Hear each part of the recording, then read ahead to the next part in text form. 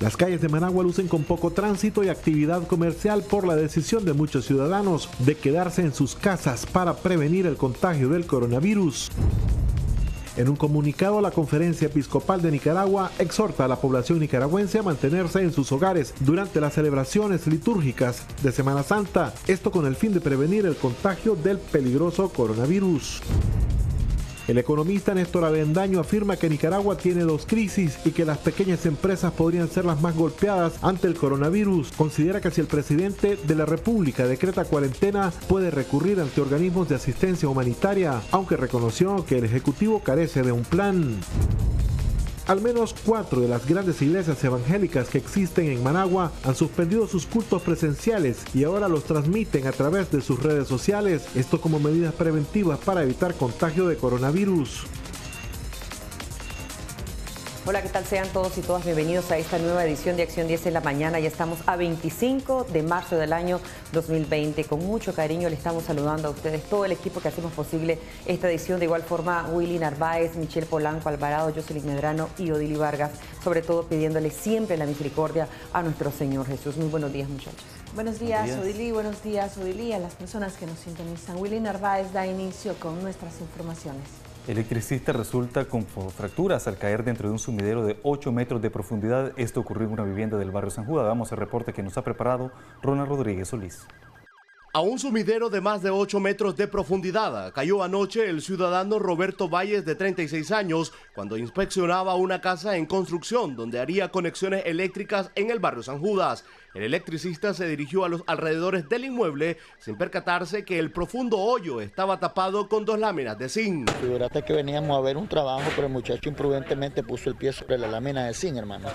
Eh, cuando miramos ya hasta abajo, la verdad que el, el hermano, tiene 8 varas de profundidad pero fue imprudencia, no puso el pie sobre lo que es la, tabla, hermano, sino que lo puso sobre la lámina de zinc. El peso de él es de 230 libras. Vos sabés el peso, una lámina de zinc, hermano, inmediatamente pasó, y, pero inmediatamente llamamos, hermano, lo que, lo que es la unidad de bomberos, ¿verdad? Para que brindaran primeros auxilios sobre la persona. El nombre de él, Roberto Valle. Por más de 20 minutos, un equipo de rescate de Cruz Roja Nicaragüense trabajó con las herramientas necesarias para extraer al ciudadano que aparentemente presentaba fracturas, dado que se quejaba del terrible dolor. Uno, dos, tres. Uno, dos, tres. la ayúdense.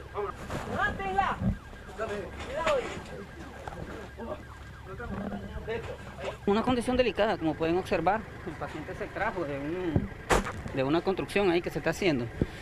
Es un politrauma, posiblemente trauma en el hombro y cadera. Se ha trasladado al Fernando del España. El hecho tuvo lugar del Palí de San Judas, dos cuadras al sur, 100 metros abajo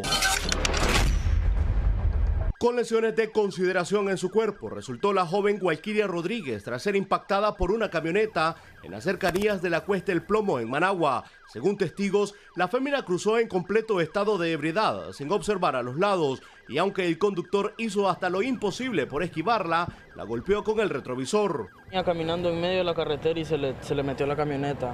Él, él la quiso esquivar, pero no pudo. ¿Fue imprudencia de la muchacha? Parece que anda tomada. Parece que anda tomada y se, les, se, deslizó para abajo. Y ahí fue donde la golpeó con el, el estar, el, retrovisor izquierdo de la camioneta.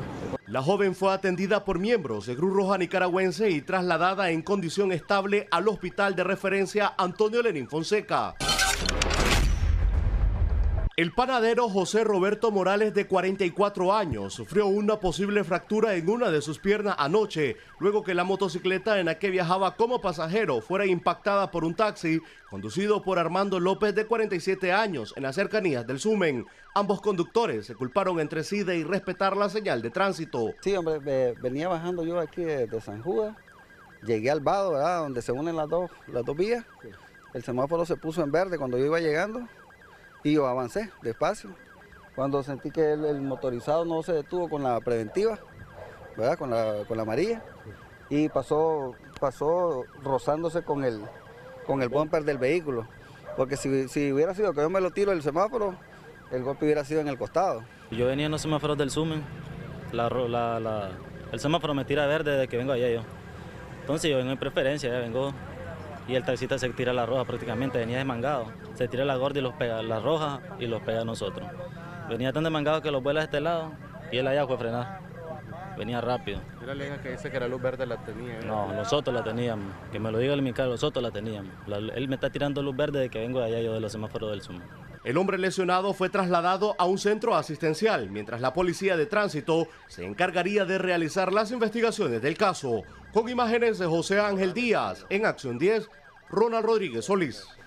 Autoridades de salud mantienen reportes de dos casos confirmados de COVID-19 en Nicaragua. En el último informe de la tarde de, ayer revelan que se le está dando seguimiento a siete casos sospechosos que aún no presentan síntomas. María Esther Ordóñez nos informa. En Nicaragua se han realizado pruebas del COVID-19 a personas que así lo ameritaban y su resultado ha sido negativo, según informan las autoridades de gobierno a través de un comunicado, donde agregan que se mantienen los mismos dos casos positivos y cuyos pacientes están en condición de salud estables. Durante la mañana de este martes, el Ministerio de Salud reiteró el llamado a la población a continuar poniendo en práctica las medidas de protección para combatir esta enfermedad que ha causado miles de muertes en el mundo. Hasta ahorita todas las autoridades y trabajadores de salud continúan haciendo su trabajo de prevención en todo el país. No hay que dejarse llevar por la desinformación que circulan en las redes. En este momento solo contamos con dos casos confirmados para proteger a los miembros de la familia al toser o, o estornudar, cubrirse la nariz y la boca con el ángulo interno del codo, lavarse inmediatamente las manos con agua y jabón. Recordamos que uno de los elementos clave es lavarse las manos con agua y jabón. En el informe oficial se indica que hay siete personas en seguimiento y de momento todas asintomáticas. Se lee en el documento que son personas que o tuvieron contacto con el caso número 2 o viajaron e ingresaron a Nicaragua desde países con brotes fuertes. María Esther Ordóñez, Acción 10. Coalición Nacional dirige carta al presidente de la Organización Mundial de la Salud donde expresan su preocupación por la forma en que hasta hoy el gobierno de Nicaragua ha manejado la crisis sanitaria por la pandemia del COVID-19. Michelle Polanco nos amplía. En la carta, las organizaciones expresan su preocupación por la forma en que el gobierno de Ortega está manejando la enfermedad causada por el coronavirus. El objetivo de la carta enviada por la Coalición Nacional a la Organización Mundial de la Salud es visibilizar eh, que el gobierno de Nicaragua y los instrumentos de salud pública en Nicaragua no se están apegando al cumplimiento de las recomendaciones hechas por la misma Organización Mundial de la Salud y que por el contrario están adoptando una serie de prácticas que, son, que además de ser contradictorias a las recomendaciones, eh, están activamente provocando un contagio masivo y convierten a Nicaragua en un foco de riesgo para la región. Las agrupaciones opositoras insisten en que el presidente Ortega aún no suspende clases en ninguno de los niveles, a pesar de la presión de la ciudadanía, y ha amenazado a quienes no asisten, expresan en la misiva. Y solicitan a la organización le haga un llamado a actuar con responsabilidad al gobierno de Ortega y asumir las orientaciones hechas por la Organización Mundial de la Salud. Michelle Polanco Alvarado, Acción 10 calles de Managua lucen poco transitadas, ciudadanos toman la decisión de resguardarse en casa a pesar de no haber decretado ningún tipo de medida de aislamiento social. Según especialistas en psicología, las personas toman estas medidas de precaución ante el temor de contraer el virus. Veamos el siguiente reporte. Las calles de la capital lucen parcialmente vacías Incluso la presencia policial ha disminuido considerablemente en los puntos de Metrocentro, la Catedral y la Plaza de las Victorias. Según el especialista Ludendorff Sucé, la ausencia de la ciudadanía en las calles se debe al temor que tiene de contagiarse del coronavirus, temor que incrementó probablemente con la confirmación de un segundo caso positivo en el país. Bueno, recuerde que las redes sociales ahorita están publicando las actualizaciones sobre el, COVID-19 a nivel mundial. Entonces hay temor de la población, quieren protegerse. Ellos quieren proteger su vida y proteger la vida de sus familiares, que es lo más importante, sobre todo donde hay un abuelito, donde hay una abuelita, una madre que ya está por los 70 años. Entonces esa sensación de querer proteger a los, a los padres y, y a la familia misma, pues no deja de, hacer un poquito de estrés en ellos. Sin embargo, la estancia en el hogar podría generar entre las familias otro tipo de estrés, explica el especialista. El estrés lo provoca ya solo las noticias que estamos oyendo. Entonces, sobre agregar estrés, estar encerrado por un buen tiempo en la casa, hay incertidumbre. No se sabe cuánto va a durar esta, este encierro. Pero para mientras hay que hacer algunos mecanismos de defensa. El ser humano ha sabido vivir en las tragedias y ha sobrevivido y ha salido adelante de las tragedias. Por ello recomienda crear actividades de ocio en familia para aliviar esta sensación. Primeramente usted puede organizar el, el hogar. Si está la mamá y el papá y los hijos y hay hijos mayores, hay que definir roles ahí, ¿verdad? El que va a limpiar, el que va a hacer la tarea doméstica, el, que va a cocinar, el que va a preparar los alimentos, el padre que puede ayudar en las actividades de los grandecitos, deportes, si tienen una casa grande, con patio grande, pueden hacer deporte, patear la pelota. También los juegos de mesa, por ejemplo, dominó, este, el, monopolio o monopoly. Eh, todo eso que acostumbrábamos antes también, incluso aunque parezca risible, la chalupa, que todo el mundo se alegraba a ir a jugar chalupa, juegos de, de ese tipo pues contribuyen a socializar entre la familia y a bajar el estrés. El distanciamiento social y evitar sitios de aglomeración de personas son medidas que en otros países ayudaron a ralentizar la curva de contagios, con lo cual se logró aliviar los sistemas de salud en donde el número de contagios iba en aumento. Michelle Polanco Alvarado, Acción 10. La alerta mundial generada por el coronavirus ha llevado a las personas a tomar acciones individuales como evitar asistir a centros comerciales de Managua que desde el pasado fin de semana lucen algo desolados. Pedro Hidalgo nos amplía.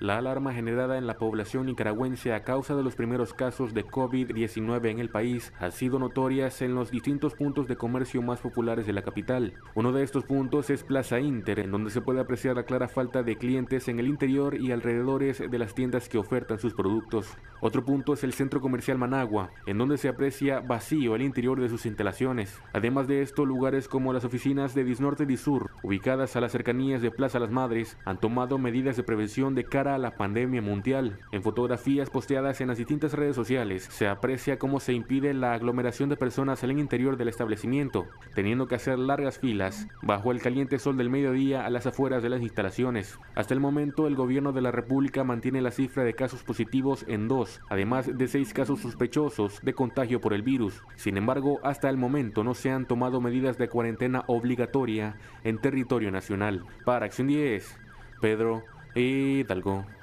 Conferencia Episcopal se une a las medidas de prevención para evitar el contagio del COVID-19, suspendiendo todas las celebraciones litúrgicas, incluyendo las dominicales, así como otras medidas de las que nos informa Medardo Mendoza.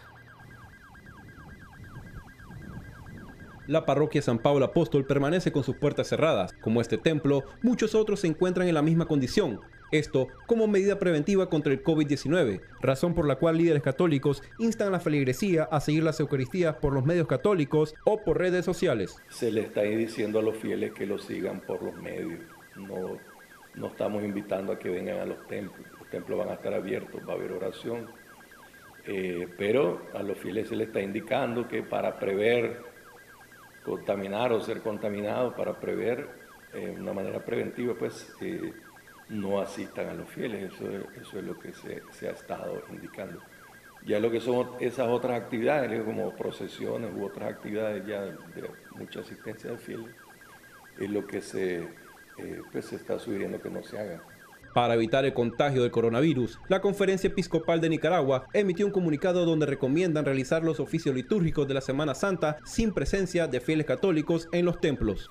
Lo que se ha suspendido son encuentros masivos como Via Crucis o alguna otra reunión que sea masiva. Y entonces eh, las celebraciones de la Eucaristía, sobre todo en Semana Santa, el Tríodo Sacro, lo que es el Jueves Santo, Viernes Santo y Sábado, Sábado Santo, Domingo de Resurrección, pues se van a realizar normalmente. Los pastores de la Iglesia Católica consideran que la población ha acatado completamente estas medidas preventivas. Ya los fieles ya han estado en la mínima expresión de fieles asistiendo. Y pues eso quiere decir que la gente se está cuidando, lo cual pues nos alegra mucho para prevenir cualquier epidemia, pues, pues, que la epidemia no se vuelva eh, algo trágico pues aquí en Nicaragua. En el comunicado de la Conferencia Episcopal de Nicaragua, también se insta a la población nicaragüense a tomar conciencia de la situación que vive el mundo actualmente y que durante la Semana Santa no sean utilizados como espacios de recreación las playas y lugares públicos. Les informó Medardo Mendoza. Al menos cuatro de las grandes iglesias evangélicas que existen en Managua han suspendido sus cultos presenciales ante la recomendación de mantener el aislamiento social como medida preventiva para evitar el contagio de coronavirus. Veamos el siguiente reporte. Las iglesias son un potencial foco de contagio de coronavirus en el mundo. En febrero pasado, una mujer asistió a varias ceremonias religiosas en Corea del Sur y se sospecha que contagió a más de mil personas. En un rezo masivo de Malasia, 190 personas contrajeron el COVID-19 recientemente. Pastores en Nicaragua ya están implementando medidas de prevención. Al menos cuatro grandes iglesias evangélicas han decidido suspender los cultos presenciales y ahora lo hacen a través de las redes sociales. La Iglesia Tabernáculo de la Fe mediante un comunicado expresó que a medida que avanza el COVID-19 en el país, han suspendido los servicios congregacionales hasta nuevo aviso. A partir del pasado fin de semana, la prédica y alabanzas fueron virtuales. La Iglesia Ríos de Agua Viva del pastor Omar Duarte también implementó esta medida. Visión ahora es otra de las iglesias que recurrió a las redes sociales para llevar la palabra de Dios a sus miembros y la iglesia Osana también implementa sus servicios online. Nos comunicamos con tres líderes de las cuatro iglesias antes mencionadas y por diferentes razones no accedieron a la entrevista. La tarde de este martes, las asambleas de Dios, mediante un comunicado, informaron que a partir de este miércoles 25 de marzo, las oficinas centrales atenderán solamente a representantes regionales para la realización de gestiones administrativas que no pueden ser postergadas. Esto para preservar el bienestar de los pastores y colaboradores ante la amenaza del contagio del COVID-19 y siguiendo las recomendaciones de la OMS y la OPS. El pastor y misionero Nelson Bojorge está claro que no todas las iglesias en el país han suspendido sus cultos presenciales. ¿Quién va a decir que nosotros, un país como Centroamérica, acá en nuestro pequeño y golpeada Nicaragua, no vamos a hacer la excepción? ¿Qué es lo que nos queda? Tomar medidas de seguridad. Tú me podrás decir, ¿y dónde está tu fe? Mi fe está basada en las recomendaciones, porque la Biblia me dice, el prudente ve el mal y se aparta. Las autoridades en nuestro país han manifestado que no habría ningún tipo de cuarentena. No obstante, la población misma y entidades religiosas, conscientes del peligro de la aglomeración de personas, han tomado sus medidas. Y mi Biblia dice, plaga, plaga no tocará nuestra morada. Nicaragua, estamos en el mejor momento. Celebra antes de verlo. Celebra antes de verlo, Nicaragua. Toma las medidas de seguridad porque de lo contrario no lo vas a poder celebrar. Te bendigo, amada Nicaragua. Finalizó el líder evangélico, Willy Narváez, Acción 10. Especialista en derechos de los consumidores propone moratoria de dos meses en pago de servicios públicos y préstamos para aliviar, según expresó, la crisis económica que la pandemia de coronavirus generará en el país con o sin cuarentena. Veamos el informe. La propuesta de ley es una moratoria de al menos dos meses para los usuarios y consumidores de servicios y productos adquiridos al crédito. El objetivo, dice Juan Carlos López de Defensoría al Consumidor, es aliviar la crisis económica que se generará como consecuencia de la pandemia del coronavirus. Pero las economías mundiales van a afectar, van a dar un coletazo a, a la economía local.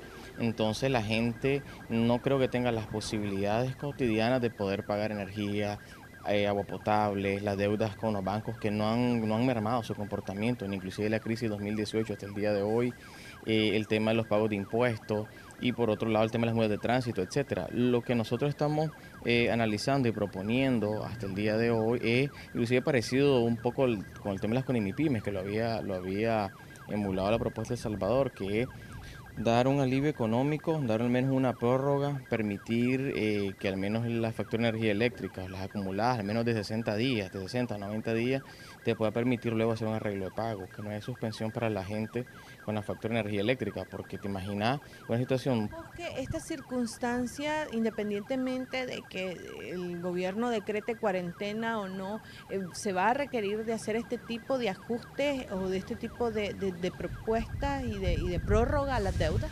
Fíjate que es necesario. De hecho, eh, aconteciendo un poco, aconteciendo un poco lo que vive justamente en Nicaragua, como, como caso particular, estamos en un coletazo difícil de una crisis política que golpea lo económico. Venimos mal, realmente. Y eso lo habíamos hablado con anterioridad. Y le sumas una condición mundial que afecta inclusive el mismo centroamericano a economías de escala, economías pequeñas, la microeconomía. López hace extensivo la propuesta a las casas comerciales y financieras. Aclara que no se trata de evadir los compromisos adquiridos, sino proporcionar un alivio a los nicaragüenses. Sí, la propuesta es encaminada a todos estos rubros, sobre todo más encaminado al sector de bancario, más que todo, y en microfinanzas. De ahí están en las microfinanzas, que la categoriza también el marco legal, te va a permitir también ver el caso de las casas comerciales, valga decirlo que a veces te permiten establecer prórrogas. Ya se habían hecho para el año 2018. Entonces, lo que no se tiene que confundir es, aquí no estamos pidiendo que el gobierno otorgue bono ni que el gobierno subsidie. Lo único que se solicita, lo único que se propone es que mientras estas circunstancias no se logran normalizar, al menos a nivel local o centroamericano, te pueda permitir a la población luego hacer arreglos de pagos. López agregó que la propuesta de ley se presentará ante la Asamblea Nacional para su discusión y abrir el debate con los otros sectores de la sociedad. Michelle Polanco Alvarado, Acción 10. Continuamos con más informaciones y el economista Néstor Avendaño afirma que Nicaragua tiene dos crisis y que las pequeñas empresas podrían ser las más golpeadas ante el coronavirus. Considera además que si el presidente decreta cuarentena, podría recurrir ante organismos de asistencia humanitaria. Willy Narváez nos informa. Esta es la realidad de Nicaragua, la segunda nación más pobre de América Latina. Esta crisis sanitaria hace que Nicaragua hoy tenga dos crisis extraeconómicas con impactos severos en la economía nacional. Si antes decíamos que la economía de Nicaragua iba a caer sin el virus, hoy con el virus va a caer más. Según Néstor Avendaño, director ejecutivo de la firma de consultores para el desarrollo empresarial Copades, estos serán los principales afectados con esta segunda crisis. La pequeña y microempresa vuelven a, a resurgir como principales actividades económicas deterioradas por el virus, el comercio, los hoteles, los restaurantes, los servicios personales. Este cierre va a provocar más desempleo. Pese a este nuevo escenario adverso para la economía nicaragüense, Avendaño, quien tiene gran trayectoria y experiencia con el aparato económico del país, considera que hay una medida en manos del Ejecutivo. Y al presidente Ortega, con quien yo laboré en los años 80, yo trabajé 26 años en cinco gobiernos de nuestro país. He de recordarle algo. Si en la década de los 80 el presupuesto de la nación estuvo al servicio de la defensa de los nicaragüenses, hoy en esta década, segunda década del nuevo siglo, ¿por qué no se pone el presupuesto nacional al servicio del sector salud y combatir a este virus que es tan mortal como la guerra? Los nicaragüenses que viven del día a día para llevar el sustento para su hogar serían los principales afectados si decretan en el país una cuarentena. Se puede recurrir a la FAO, UNICEF, para atender a los niños. Hay que presentar planes a agencias internacionales, especialmente de organismos como las Naciones Unidas, para enfrentar una situación delicada como es esta. No obstante, existen sanciones estadounidenses para que Nicaragua no tenga acceso a nuevos recursos. Las ventanillas de donaciones están abiertas para casos de asistencia humanitaria. El gobierno de Nicaragua, ante la llegada del coronavirus, recurrió recientemente ante el Fondo Monetario Internacional y solicitó un apoyo de 470 millones de dólares para esta emergencia. No tengo conocimiento de que el Fondo Monetario Internacional ofrezca ayuda para asistencia humanitaria. ¿Ha donado el FMI alguna vez a Nicaragua? Nunca. Incluso tengo entendido que el FMI es el coordinador mundial para impedir que organismos financieros multilaterales otorguen nuevos préstamos a Nicaragua. El coronavirus ha impactado fuertemente en las principales potencias mundiales, por lo cual los mandatarios deberán asistir a la población y no quedarse de brazos cruzados. Willy Narváez, a Acción 10. A continuación vamos a ver en pantalla la cifra real en el mundo de cómo están los casos de coronavirus. Eh, son 4.400.000 437.183 casos los que ya se reportan a nivel mundial. De estos, 19.625 personas que han fallecido, 113.888 personas que se han recuperado y esto se reporta ya en 199 países. En Nicaragua las autoridades mantienen de que son dos casos los que han sido confirmados eh, ya por coronavirus y están seis sospechosos, los cuales pues seguimos siempre pendientes de los datos actualizados por el Ministerio de Salud. Vamos a hacer un breve corte comercial y regresamos con más. Ya regresamos con Acción 10 en la mañana.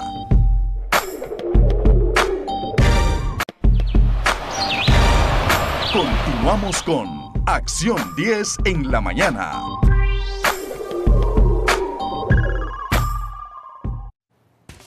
Qué bueno que pueda continuar con nosotros. En Chinandega hay negocios cerrados, una poca circulación de personas y el transporte en crisis. Este es un poco el contexto que vive en esta ciudad ante la amenaza de un brote de coronavirus. Veamos el reporte de Katia Reyes. El departamento de Chinandega se debate entre una autocuarentena y la necesidad de subsistir, a pesar de que las instituciones del Estado no han brindado comunicados acerca de suspensión de actividades. Hay sectores concretos donde se han tomado medidas desde el fin de semana. El taxista Douglas Delgado prefiere permanecer estacionado en espera de pasajeros para no malgastar el poco combustible que tiene ante la escasez de usuarios. Baja, baja, le entrego menos, patrón, porque como no hay circulante, no hay pasajeros, no hay. Me quedan 100, 150 y trabajo todo el día. Al transporte interurbano no le va mejor. Einer Rocha comenta que la cantidad de usuarios ha disminuido notablemente, pero ellos continúan trabajando utilizando medidas de higiene. Desde que comenzó eso, pues, eh, el coronavirus, pues dicen que ya la gente pues ha dejado de estar subiéndose frecuentemente.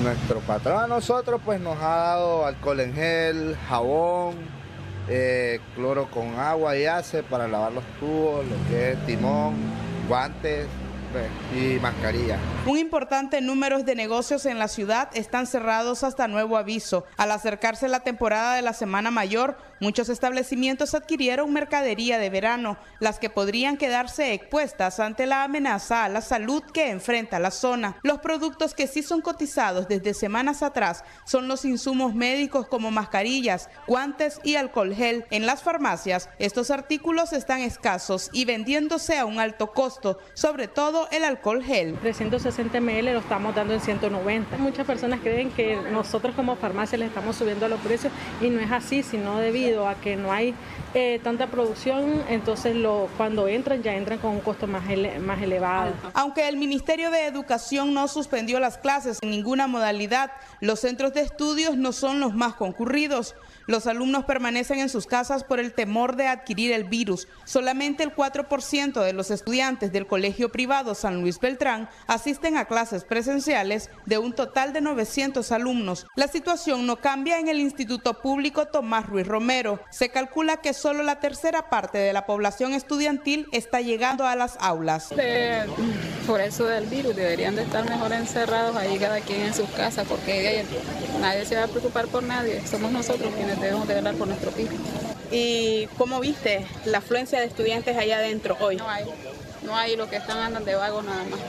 En el sistema penitenciario las visitas son normales, solo algunas personas ingresan usando tapabocas. Como suele pasar en este tipo de coberturas, nos encontramos con la hostilidad de funcionarios del penal, quienes intentan evitar que se capten imágenes en los alrededores. En la vía pública. No, no puede estar tomando fotos y peormente controlándole el personal ahí. Ahí no disculpa. ¿Cómo así? No, es que no entiendo. Sí, no me puede estar controlando el personal, le entra y sale, usted está tomando fotos. No, yo estoy tomando fotos de acá, de donde está ingresando la gente. ¿Han restringido las visitas o no tenemos por qué. ¿No? No van a tomar los precios. Entonces, todas las visitas están normales. No puede estar tomando fotos. La comunidad católica en el departamento de Chinandega están participando de una novena extraordinaria. Así lo explicó Carol Munguía, quien decidió no recibirnos dentro de su casa, ya que se ha autoaislado. Pero desde mi casa he improvisado, quiero contarte que he improvisado este, este altar doméstico para pedirle y sumarme a las intersecciones que se están haciendo a diario desde el 21 de marzo y desde la Basílica Menor, donde se encuentra el trono de la Virgen de Concepción, donde estamos haciendo rogativas los, los católicos marianos para que pueda detenerse la pandemia del el coronavirus. Para Acción 10, Katia Reyes. Al menos 60 trabajadores de una zona franca de Tipitapa denuncian que este martes fueron notificados de su despido, alegando, según los quejosos, la crisis sanitaria y económica debido a la pandemia del coronavirus. Danilo Muñoz nos amplía. Buenas tardes. 60 trabajadores de la empresa UDN Zona Franca Tipitapa, Astrocartón Nicaragua S.A., fueron despedidos injustamente la tarde de este martes, supuestamente por el virus COVID-19 que llegó a Nicaragua. La empresa UDN no ha parado de cancelar a cientos de trabajadores tipitapeños. Ellos corren porque dicen que está el problema de, la peste pues, en todo el mundo y nosotros le dijimos pues que por qué los cancelaban, ellos no los daban justificación, nosotros era solamente un recorte, otras empresas, si ustedes se dan cuenta, otras empresas están mandando a descansar con goce de salario y estas personas de la UDN, de la empresa, eh, los están despediendo de puro gusto. Yo soy uno de los afectados que tengo cuatro hijos, tengo dos niños que toman leche y me mandan sin, sin goce de salario y me han cancelado mi contrato. Los trabajadores que fueron despedidos hoy asistirán al Ministerio del Trabajo a presentar una demanda a la empresa UEN quien nos canceló injustamente. Estamos que manden al Ministerio de Trabajo a investigar lo que está haciendo ese, ese planta que está, está corriendo injusta gente, mucha gente injusta. De la noche a la mañana él se vino de día y él solo vino a correr, solo tiene apenas dos días y ya vino a correr todo el día. Los casos del COVID-19 es preocupante en nuestro país, ya que ciudadanos en la calle sin trabajo ante esta situación que atraviesa Nicaragua la población espera el respaldo del presidente de la República, hacer un llamado a los grandes empresarios. Para Acción 10, Danilo Muñoz. Según el procurador laboral José Antonio López, todo empresario que no cumpla con las normas higiénicas sanitarias en tiempos de pandemia podría ser multado económicamente e incluso condenado con hasta cuatro años de cárcel. José Abraham Sánchez conversó con él. Veamos. Según el procurador laboral del pueblo, doctor José Antonio López, todo gerente o empleador que no cumple con las normas higiénicas sanitarias en caso de desastres naturales o pandemias como el coronavirus puede ser sancionado de dos a cuatro años de cárcel o ya sea una multa dependiendo de su salario. La ley 618, ley de higiene y seguridad ocupacional, es clara en la materia de que debe de cuidarse la salud de los trabajadores. Por eso esta misma ley te está hablando claramente que existen las comisiones mixtas de higiene y seguridad ocupacional en los centros de trabajo. Por medio de estas comisiones, los sindicatos y los empleadores es que toman las medidas tripartitamente para poder eh, salvaguardar la vida de los trabajadores. Yo creo, pienso de que debe de eh, ser consecuente. Por ejemplo, habían este, los... Eh, las empresas estas maquilas que habían levantado este, mandar a los trabajadores esto, entonces pues consideramos de que se está preservando el bien más jurídico, que protege. Recordemos que en este caso es la vida y recordate que el Estado de Nicaragua cuida, protege y tutela los derechos humanos de los nicaragüenses. Entonces pienso de que eh, otras empresas más, la empresa privada debe, los pequeños, medianos comerciantes deben de tomar las medidas pertinentes para salvaguardar la vida de la y los nicaragüenses. Y sigo insistiendo, hacerle el llamado al señor presidente Ortega, a su esposa, llame a los empresarios, llame a los demás sectores, busquen como una dispensa jurídica y legal en lo que tiene que ver en materia tributaria para buscar cómo eh, enfrentar esta crisis que viene en gran medida. Nada de esto se cumple en nuestro país por tener un sistema judicial politizado y un gobierno que se resiste a la cuarentena. Con cámara de Erasmo Hernández, José Afran Sánchez, Acción 10. Es un momento de hacer una breve pausa comercial, ya volvemos.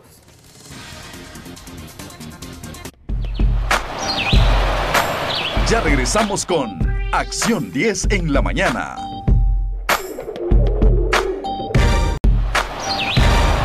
Continuamos con Acción 10 en la mañana.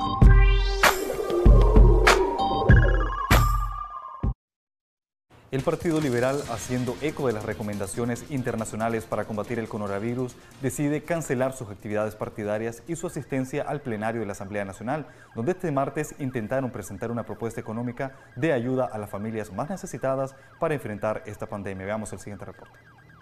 La diputada por el PLC, María Fernanda de Alemán, informó que dado que no hay orientaciones de la Secretaría de la Asamblea Nacional, suspender temporalmente las sesiones a causa de la emergencia de salud que se vive mundialmente, la bancada del PLC decidió suspender sus actividades tanto partidarias como en el plenario donde no todos los diputados acatan las medidas de prevención.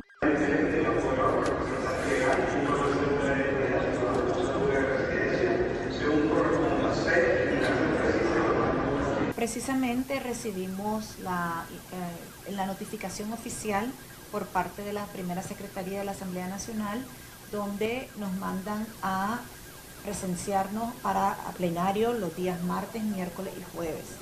El jueves 26 es el cierre de la primera sesión ordinaria. ¿Por qué? Porque ya prácticamente estamos a, de vacaciones, por decirlo de alguna manera, con Semana Santa de por medio, ¿verdad? Eh, pero sin embargo, estos tres días hay plenario, hoy están sesionando y esto es un ejemplo más de la demostración por parte de este gobierno de no demostrar ningún tipo de preocupación o darle importancia a la salud de un pueblo cuando todos los países, prácticamente la gran parte, la gran mayoría de los países y sobre todo en la región nuestra, están tomando medidas específicas para la prevención de este virus. Nosotros, como miembros de la bancada del PLC de oposición y basada en las instrucciones que recibimos por parte del Comité Ejecutivo Nacional el día de ayer, que se reunió, de suspender todas nuestras actividades partidarias y por supuesto incluyendo nuestra participación en la Asamblea por no, para no exponer a ningún miembro de nuestra bancada a estar en un lugar cerrado con 92 diputados más el personal de la Asamblea y de alguna manera pues poner nuestras vidas en riesgo. La bancada liberal ha dirigido una propuesta a la Secretaría de la Asamblea para que se tomen acciones como el desembolso del 2% del presupuesto general de la República, destinado para el costo de las medidas urgentes de contención del COVID-19. Solicitamos que la Asamblea proceda a hacer los eh, cambios o, los, o las propuestas de leyes necesarias para que nosotros, todo lo que tenga que ver con la parte legislativa, para que este gobierno tome acciones.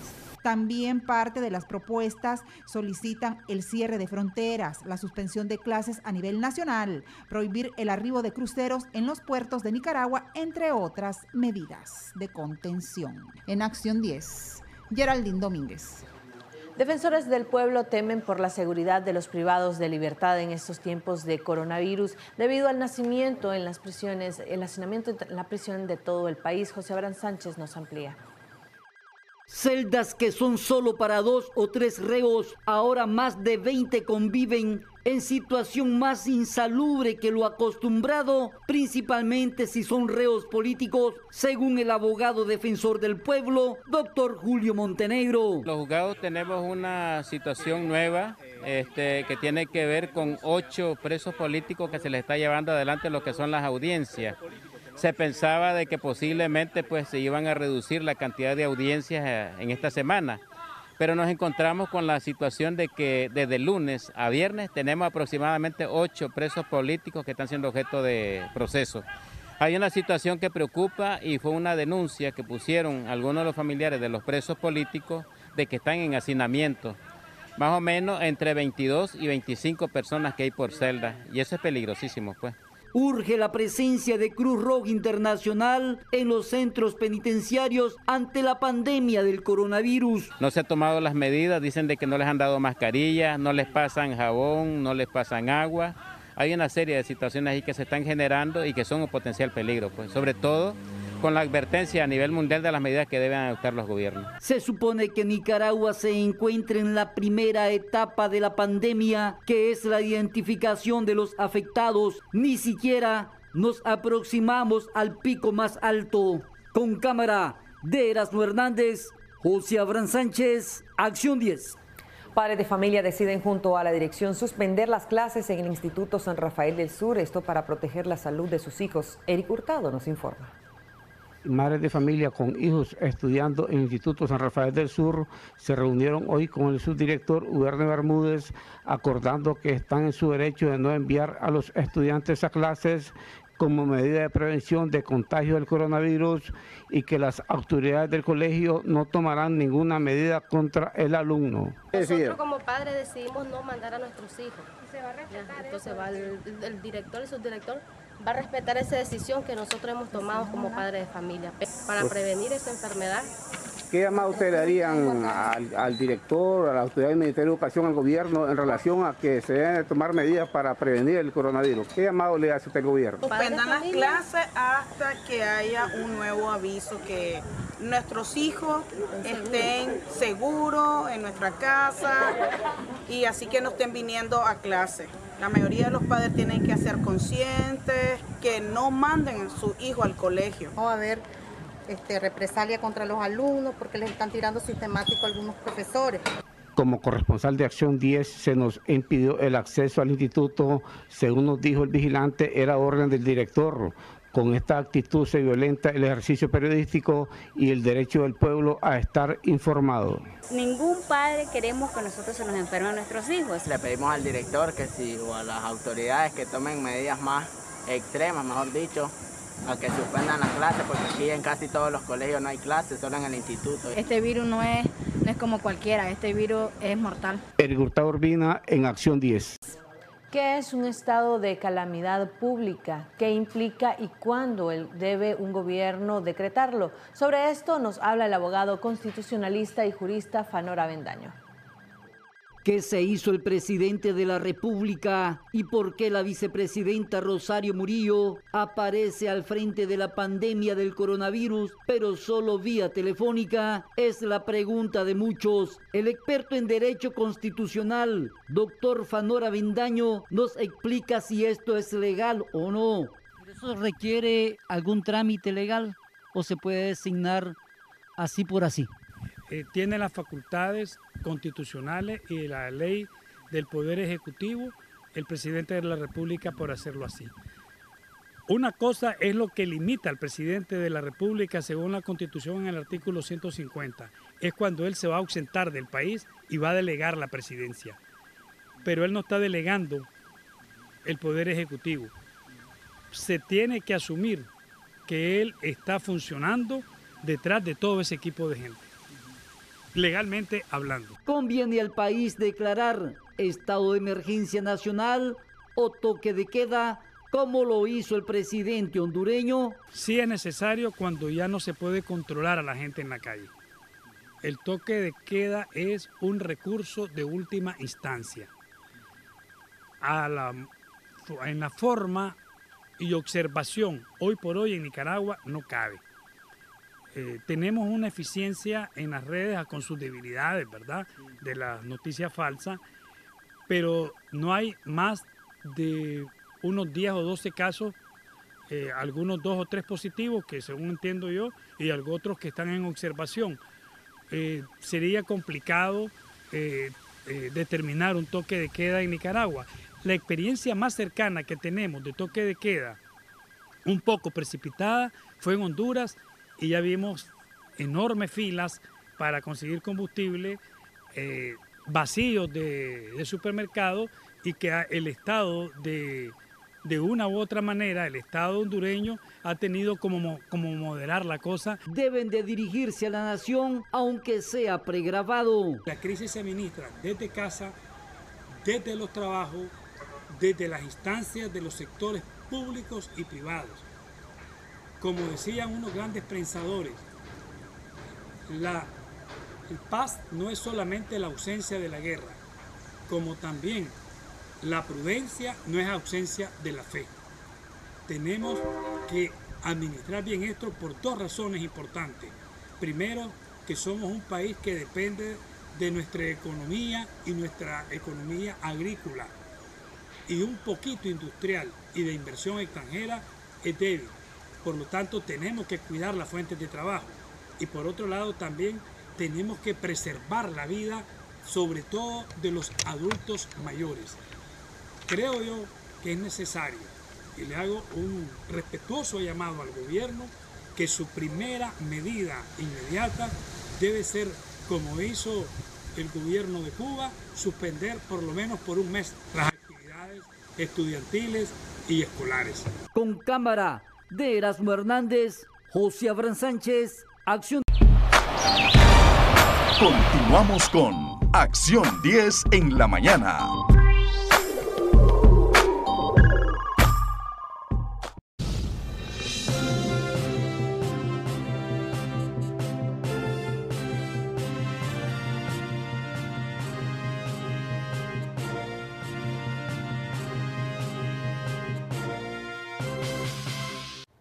Gracias por seguir en la fiel sintonía de Acción 10 en la mañana. Hoy en nuestro segmento de debates y soluciones queremos conversar ampliamente sobre la situación del coronavirus en nuestro país. Hay nuevas acciones por parte del Ministerio de Salud. Podría haber un cambio de medida, un cambio de manejo de protocolo en cuanto a la prevención y hacer lo mayormente posible para contener el COVID-19 en la medida que se pueda. Vamos a abordar la temática con dos invitados que ya están con nosotros en esta mañana. El doctor Félix Sánchez del Hospital La Mascota, pediatra neumólogo. Bienvenido, doctor. Un placer que nos acompañe. Y también el doctor Eric Daniel Uriarte. Él es internista del Hospital Vélez País. Con ambos vamos a abordar esta temática de gran importancia y algo que es de mucha importancia no solo para Nicaragua, algo en lo que se está viendo afectado prácticamente unos 168 países o más y ocupa la atención y hemos visto medidas distintas por distintos gobiernos en cada país y también medidas que ha adoptado la misma población. Bienvenido. Muchas gracias, Jocelyn. Un placer que nos acompañe.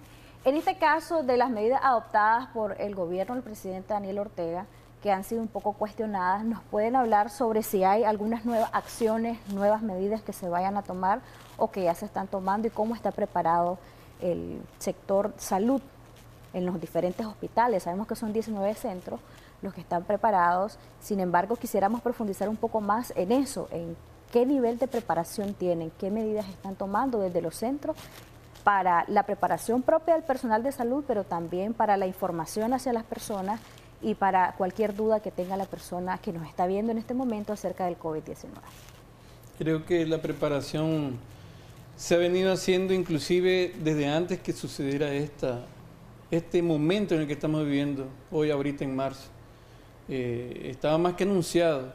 Desde el gremio médico estamos viendo el comportamiento del COVID desde el 25, 30 de diciembre del 2019 para nosotros fue una alarma a, nivel de gremio médico eh, cuando aparece una entidad viral en una ciudad con un comportamiento de este estilo, en una ciudad que debió haberse manejado de una manera según el virus. Así que para los ministerios de salud, incluyendo el de Nicaragua, eh, que ya hemos sufrido eventos como el del H1N1, el reciente pasado con el dengue, ha venido una estrategia que, creo que nos va a dar chance a lo largo de este momento de la mañana de compartir de todos esos aspectos donde debemos hacer énfasis. Uno de ellos, lo más importante, es la, llevar un paso adelante. Llevar un paso adelante. Tan así que eh, se han venido haciendo diferentes procesos de atención en todos los hospitales. Es la hora, a esta hora, mientras nosotros estamos aquí conversando, compañeros, trabajadores del Ministerio de Salud andan casualmente en esa parte de la estrategia que decís. Andan en educación. Educación, si es posible, casa a casa, a través de los medios de comunicación, a través de otros sistemas de facilitar la información para poder llevar lo correcto, la información real. ¿Se ha capacitado, doctor, al personal de salud y a qué número del personal de salud se ha capacitado?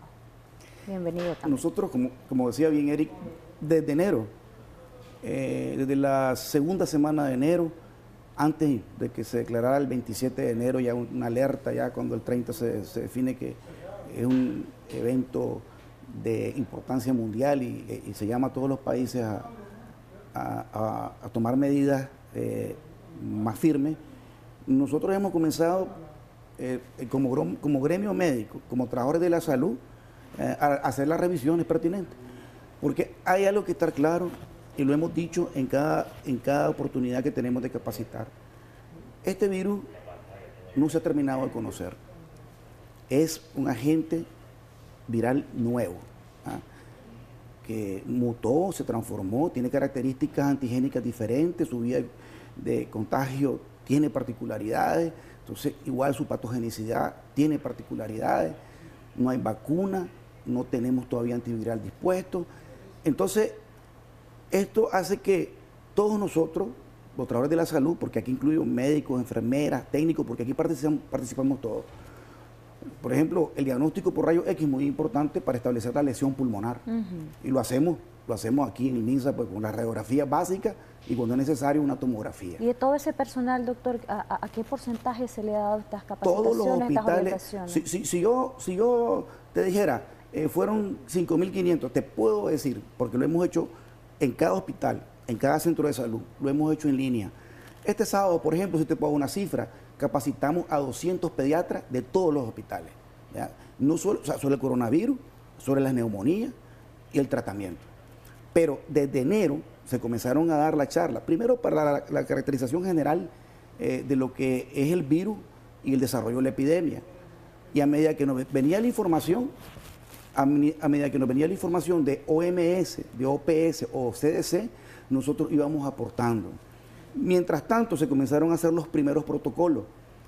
Y eh, a finales de enero, porque esto es importante, se constituye una comisión intersectorial donde está el Ministerio de Salud, el Ministerio de Educación, está el, el, MACFOR, eh, están el Ministerio de Gobernación, eh, y todo esto porque como este tiene un componente, incluso de afectación eh, y relación con la salud animal, esto, ya se estaba preparando, entonces ellos hacen un plan, esa comisión interinstitucional. Una vez que ese plan se elabora, se baja a todas las instituciones y a sus diferentes niveles. Te estoy hablando de una organización, de una planificación que no se hace en un día, se va bajando poco a poco, porque incluso eso tiene que ser revisado con evidencias científicas, con recomendaciones por las instituciones sanitarias serias. ¿Con quiénes se han auxiliado, doctores, para impartir estas capacitaciones? OPS, OPS, OMS son los principales, ¿verdad? Apoyo técnico, los hermanos de la República de Cuba, médicos y epidemiólogos, y todo lo que el CDC también envía es revisado por OPS y es compartido en una comisión que hay en el MINSA, porque cada protocolo también tiene que adecuarse a la geografía, a cómo se organiza la población eh, desde, el punto de vista urbano, con marcas, barrios, los que están en los cerros, los que están a la orilla de los lagos, las concentraciones urbanas mayores, eh, el transporte, eh, el clima. todo eso es importante y lo tienes que caracterizar de tal manera que una vez que se ha definido primero ese, ese plan ah, de respuesta a nivel nacional, se hizo un plan de acción y ese plan de acción igual se va bajando ya con tareas muy concretas.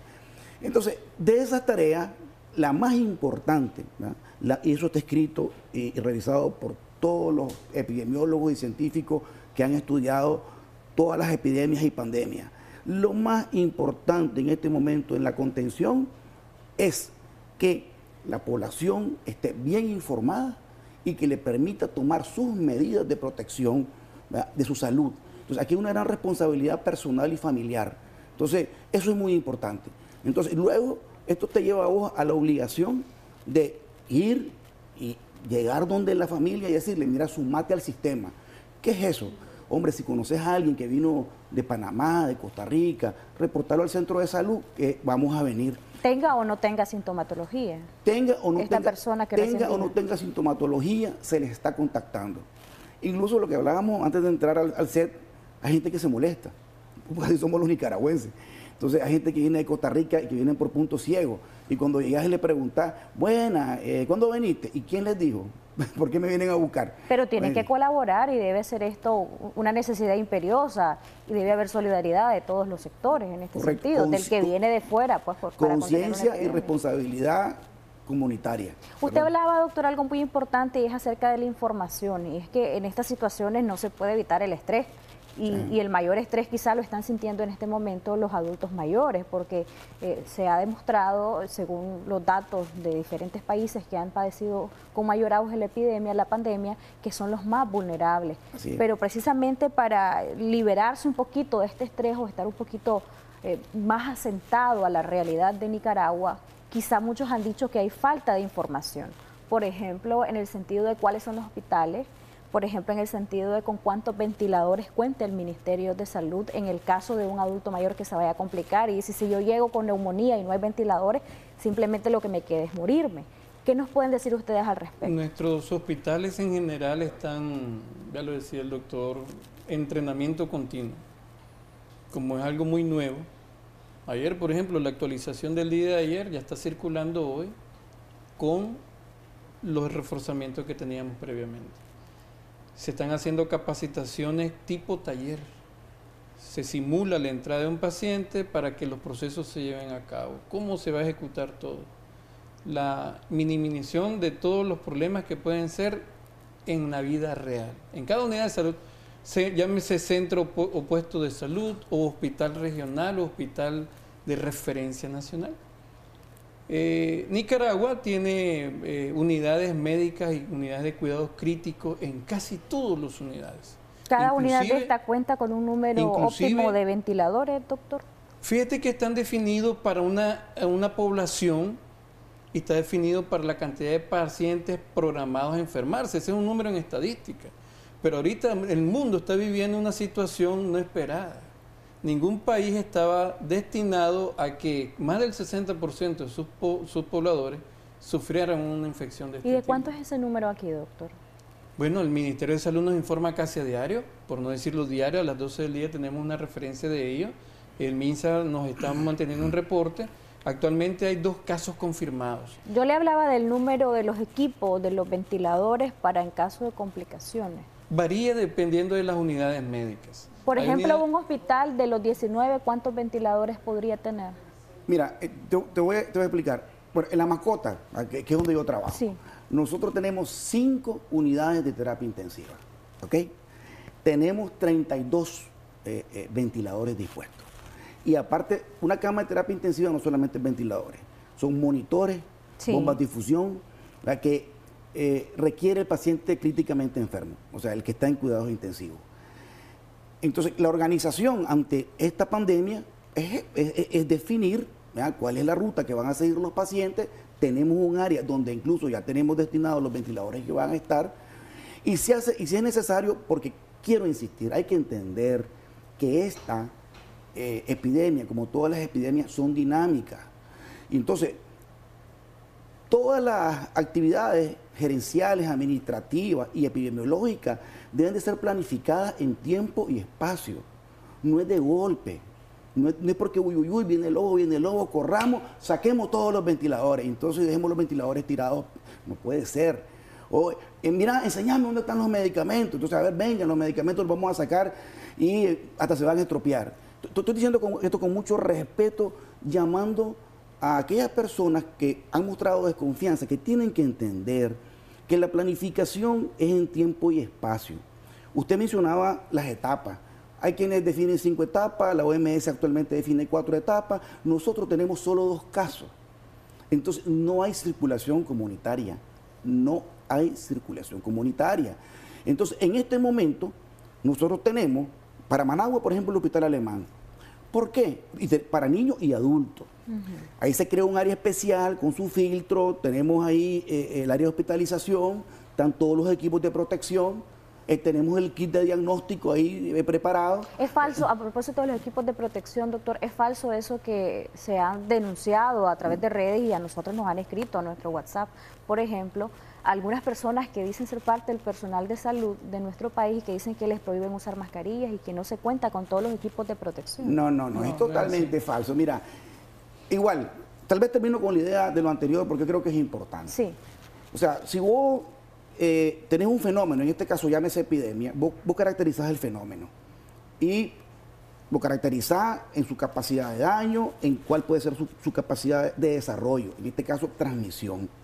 Entonces, por eso esas cuatro etapas están eh, digamos, determinadas por eso. Entonces, etapa 1, etapa 2, etapa 3, etapa 4.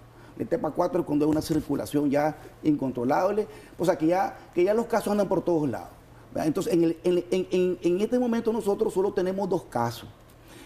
¿Y cuál es la acción más importante del sistema de salud? Que es la preocupación y una preocupación correcta de la familia. Nosotros como Ministerio de Salud tenemos una vigilancia intensificada.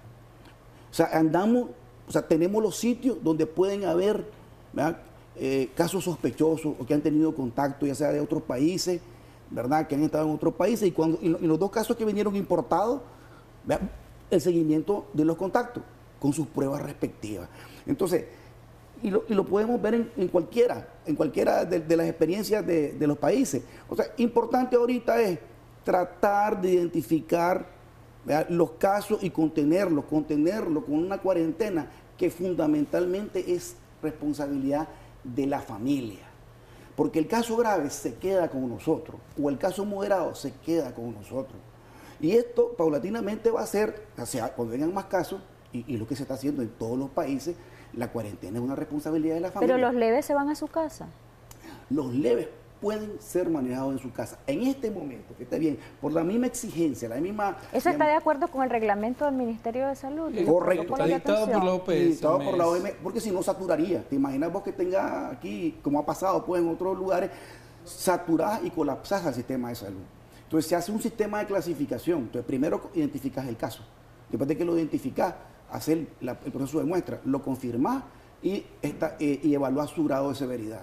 Entonces, nosotros en nuestro protocolo tenemos tres grados de severidad, leve, moderado y severo. Si un moderado o un severo se quiere ir a su casa, ¿se lo va a permitir el sistema de salud? La ley, ustedes han, escuchado bien, la ley no lo obliga a quedarse. La responsabilidad nuestra es convencerle, apoyarlo. Tenemos psicólogas, tenemos trabajadores sociales.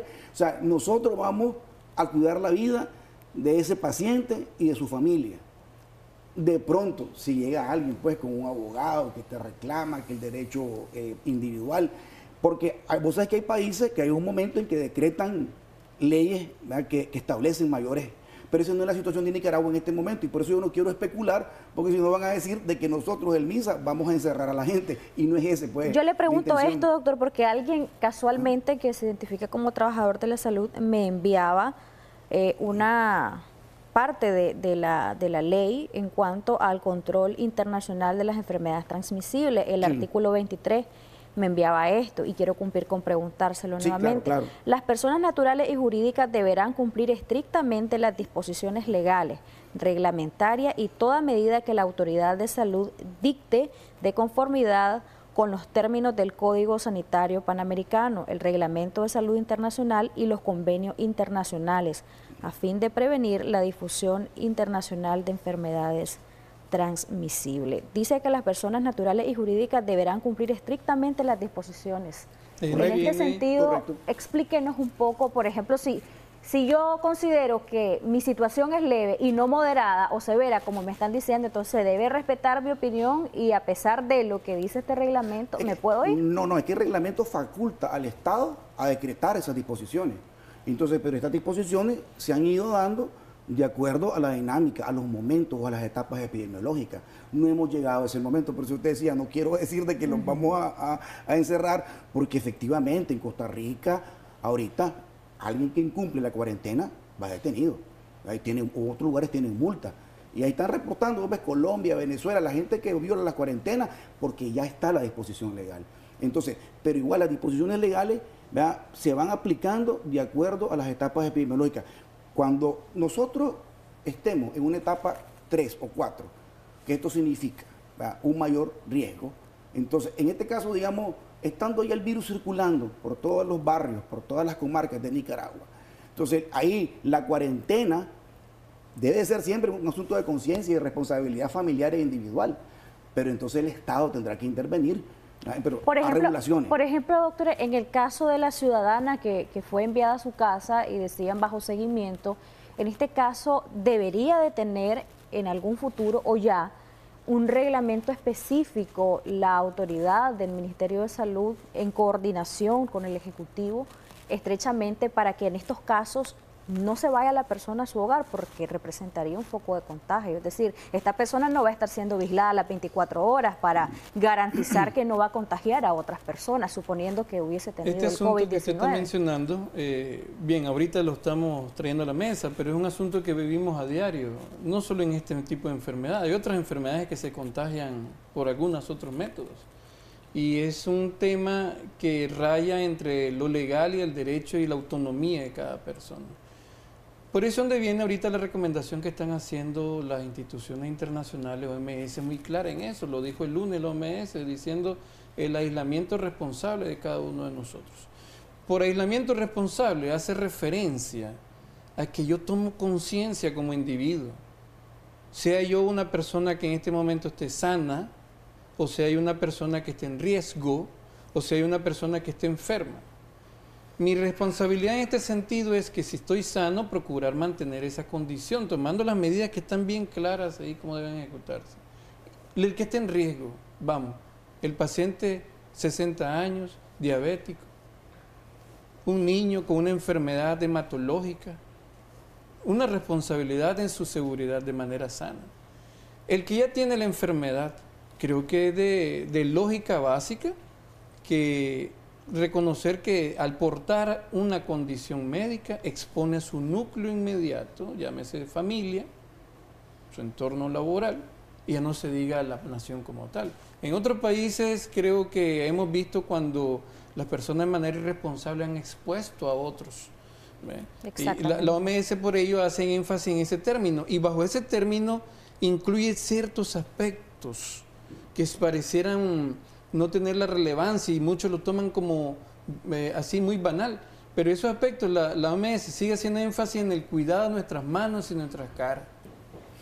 Usted mencionaba, Y aquí en Nicaragua, doctor, debe quedar a la voluntad del paciente, sea leve, moderado o, o una situación severa su caso, el retirarse a su casa. vuelvo a explicar, en su momento ¿verdad? se aplican leyes, ¿verdad? entonces que van a ser responsabilidad del Ejecutivo, incluso de la Asamblea Nacional, porque son de trascendencia, ¿verdad? porque ahí está también ahí considerando lo que son los derechos individuales.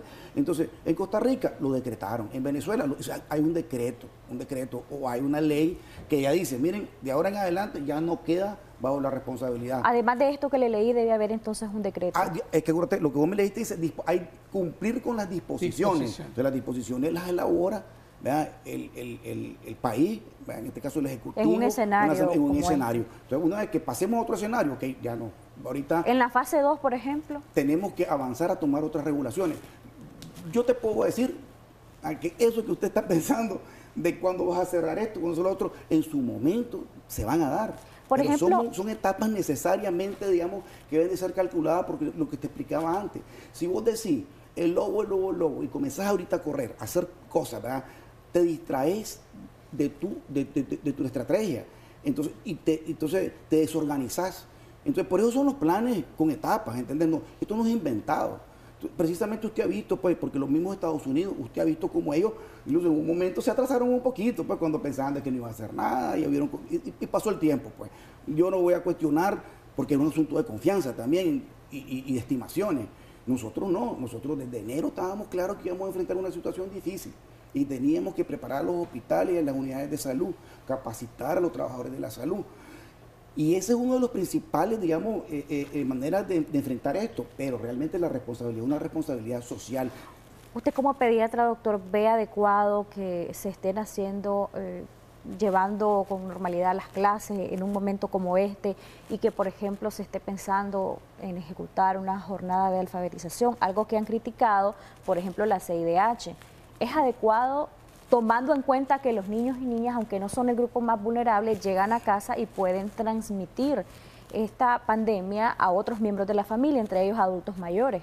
Porque sí han dicho algunos expertos que sí se transmite, aunque esté de manera asintomática, aunque la Totalmente, probabilidad es menor. Totalmente de acuerdo, eso es verdad de Dios. Así conocemos muchos virus, ¿verdad? que hay etapas eh, de portadores, se llaman, pues son asintomáticos o oligosintomáticos, y este ha sido uno de los problemas que nos ha presentado este virus. Y los niños se presentan de esta manera. Entonces, mira, la misma respuesta, con responsabilidad te digo, va a haber su momento. Porque en cuanto el virus comience a circular más, más por, mayores comunidades, mayor número de casos, entonces se tendrán, que considerar estas otras medidas. Pero mira, te lo voy a leer lo que dicen, lo que dicen los CDC.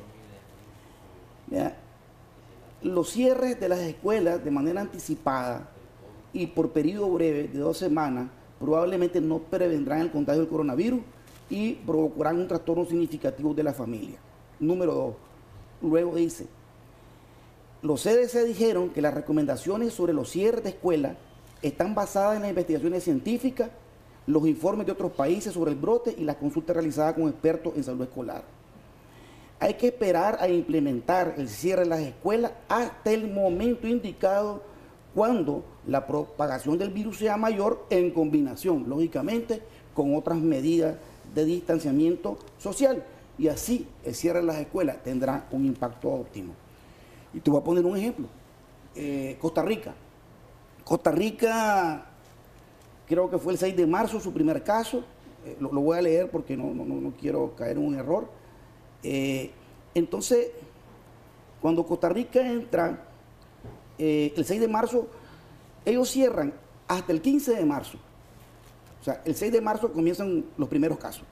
Sin embargo, al 15 de, marzo, cuando ya tienen 16 casos confirmados y hay circulación mayor, cerraron solamente 317 escuelas, que eso representó el 7%. Entonces, y cerraron las escuelas donde estaban los casos confirmados.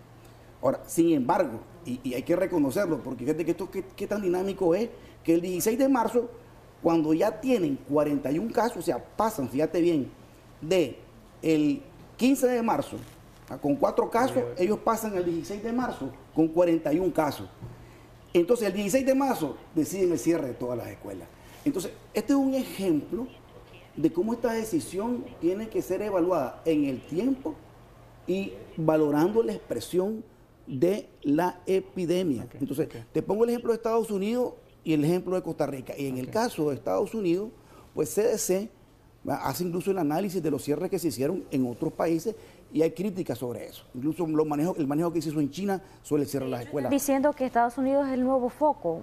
Sí, bueno. En, este sentido, y quisiera, quisiera su valoración, la valoración de ambos sobre dos aspectos. Hemos visto un escenario como el de Italia y algunos epidemiólogos que han estado acá han dicho, puede pasar eso en Nicaragua, no deseamos que pase, así lo han expresado textualmente, pero puede pasar. Algunos han dicho también que consideran que por ahora son insuficientes las medidas que ha tomado el Ministerio de Salud y que mm. deberían de tomarse otras, precisamente para no tomarlas cuando ya avancemos a otra fase, sino para tomarlas antes de avanzar a otra fase. el momento, el momento ya está calculado, no hemos pasado esa fase. O sea, o sea, no se deben de tomar antes de pasar a otra fase. Te lo acabo de leer, dice que es contraproducente, es contraproducente. Hay muchos elementos. Incluso, fíjate que puede favorecer incluso a la diseminación de la epidemia. ¿Cómo así, doctor? Explique. Por ejemplo, ahorita, con el tema de las dos semanas de Estados Unidos, entonces el CDC dice que con estas dos semanas, lo que va a favorecer es, cuando estos chavalitos regresen nuevamente a clase, ¿verdad? Van a encontrar nuevamente el virus y, se va a diseminar más de lo que se estaba diseminando. Eso es el estimado, o sea, por dos semanas. Entonces, porque efectivamente, porque hay que ser responsable, el CDC dice, si van a cerrar, cierren ocho semanas. Eso es una responsabilidad. Pero eso sí, háganlo en el tiempo oportuno. Esa es la recomendación para el cierre de las escuelas. ¿Cómo ven ustedes las medidas que ha tomado el gobierno de El Salvador? ¿Son medidas adecuadas? ¿Son medidas demasiado extremas? En ese caso, fíjate que, bien lo decíamos al inicio, se debe aplicar al contexto de cada quien. Y el contexto de cada quien es en base a cómo se va comportando el virus en esa localidad, en esa región. Por ejemplo, para Nicaragua todavía estamos en una etapa muy primaria del comportamiento del virus, me refiero, del comportamiento del virus. Y cuando el clínico hace la clasificación, entonces, porque es el médico el que hace la clasificación, no, no tanto el doctor, el paciente, en leve, moderada, crítica, y decidimos ingresar al paciente caso positivo, el moderado, el crítico, se debe ingresar, monitorear, vigilar, asegurarnos que sus condiciones mórbidas estén bajo control y que no se deteriore más y que no sea un foco para diseminar la enfermedad. Ese comportamiento del virus a partir de ahí genera, creo, lo que ya la mayoría de nosotros conocemos, eh, una campana de distribución. A partir del día cero, de donde empiezan los casos, empieza la evolución y la transformación, el desarrollo de la enfermedad en esa zona geográfica. Llámese un municipio, una ciudad, una nación, un pueblo en general. Usted decía, doctor, que hay que ir un paso adelante. ¿Considera que Nicaragua ha ido un paso adelante comparándola con El Salvador? Estamos un paso adelante desde el punto de vista que todo el personal paramédico, médico, asistencial está enterado. Estamos un paso adelante porque no es que cuando llegue, ahora qué hago. Estamos un paso adelante porque ahora cuando aparezcan, si llegan a aparecer más, ya sabemos qué hacer, cómo hacer, en qué forma y en qué tiempo. Por ejemplo, doctor, quiero preguntarle sobre las visitas casa a casa, y esto ha sido criticado y de mm. hecho hay una, una, organización en este sentido política que ha eh, externado ante la OMS una queja por, por el tema de lo que ellos consideran unas medidas inadecuadas y han criticado fuertemente este tema del casa a casa porque dicen no se han tomado las medidas, es decir, estas personas pueden ser focos de transmisión quisiéramos su valoración al respecto de, pues su disciplina, que es la, medicina. Es decir, ¿están preparadas estas personas? ¿Andan los mecanismos adecuados? ¿Andan listos para dar un mensaje correcto? Pero además del mensaje correcto, demostrar que están listos y que ellos mismos están tomando las medidas de prevención. ¿Y cómo valoran esta queja que han externado ante la OMS? Mira, eh, el personal de salud y las familias, los pobladores que se suman a, estas visitas casa a caso, lo primero que deben de estar claros es que deben de estar sanos, no va nadie enfermo. ¿Ok? ¿Cómo determinan eso? Usted me decía, ya se me va a decir, ah, pero que es asintomático. Cuando digo sano, sin síntomas respiratorios. Eso, eso es algo elemental. Cuando vos solamente tenés dos casos, ¿verdad? Y, eso es lo que, insisto, o sea, nosotros estamos evaluando el momento epidemiológico con confianza. ¿Por qué te digo con confianza? Porque todos los contactos que han tenido estos dos casos han sido estudiados debidamente. Y algunos están siendo, están, están bajo seguimiento, incluso aquellos que tenemos conocimiento, que han venido de fuera y que no se han reportado, están bajo seguimiento. O sea, que en un momento tuvimos que abordarlo. Entonces, efectivamente nosotros estamos, estamos conscientes, porque si a mí, porque le pasaba me preguntaba a mí un paciente, doctor, pero ¿Por qué ustedes tienen esa confianza? Bueno, porque efectivamente nuestro sistema es un sistema que tiene fortaleza. Y te voy a explicar, porque vos decirías, ay, pero es que dicen que solo porque están eh, en ese gobierno. No, no, no es así. Mira, en los años 80, para los que recordamos, comenzó la organización comunitaria en nuestro país más fuerte. Antes no existía. Número uno. Número dos, se desarrolló un sistema nacional único de salud para atender a toda la población. El Sistema Nacional Único de Salud surge en 1980 y sustituye a un modelo de salud que era privilegiado para ciertos grupos y además escaso e insuficiente. No había, en otras palabras, ni hospitales ni centros de salud para la mayoría de la población. Teníamos una mortalidad infantil de 121 por cada mil nacidos vivos, una mortandad. Entonces, eso es una fortaleza porque nuestro sistema de salud es un sistema de salud que es accesible y eso lo reconoce la OPS.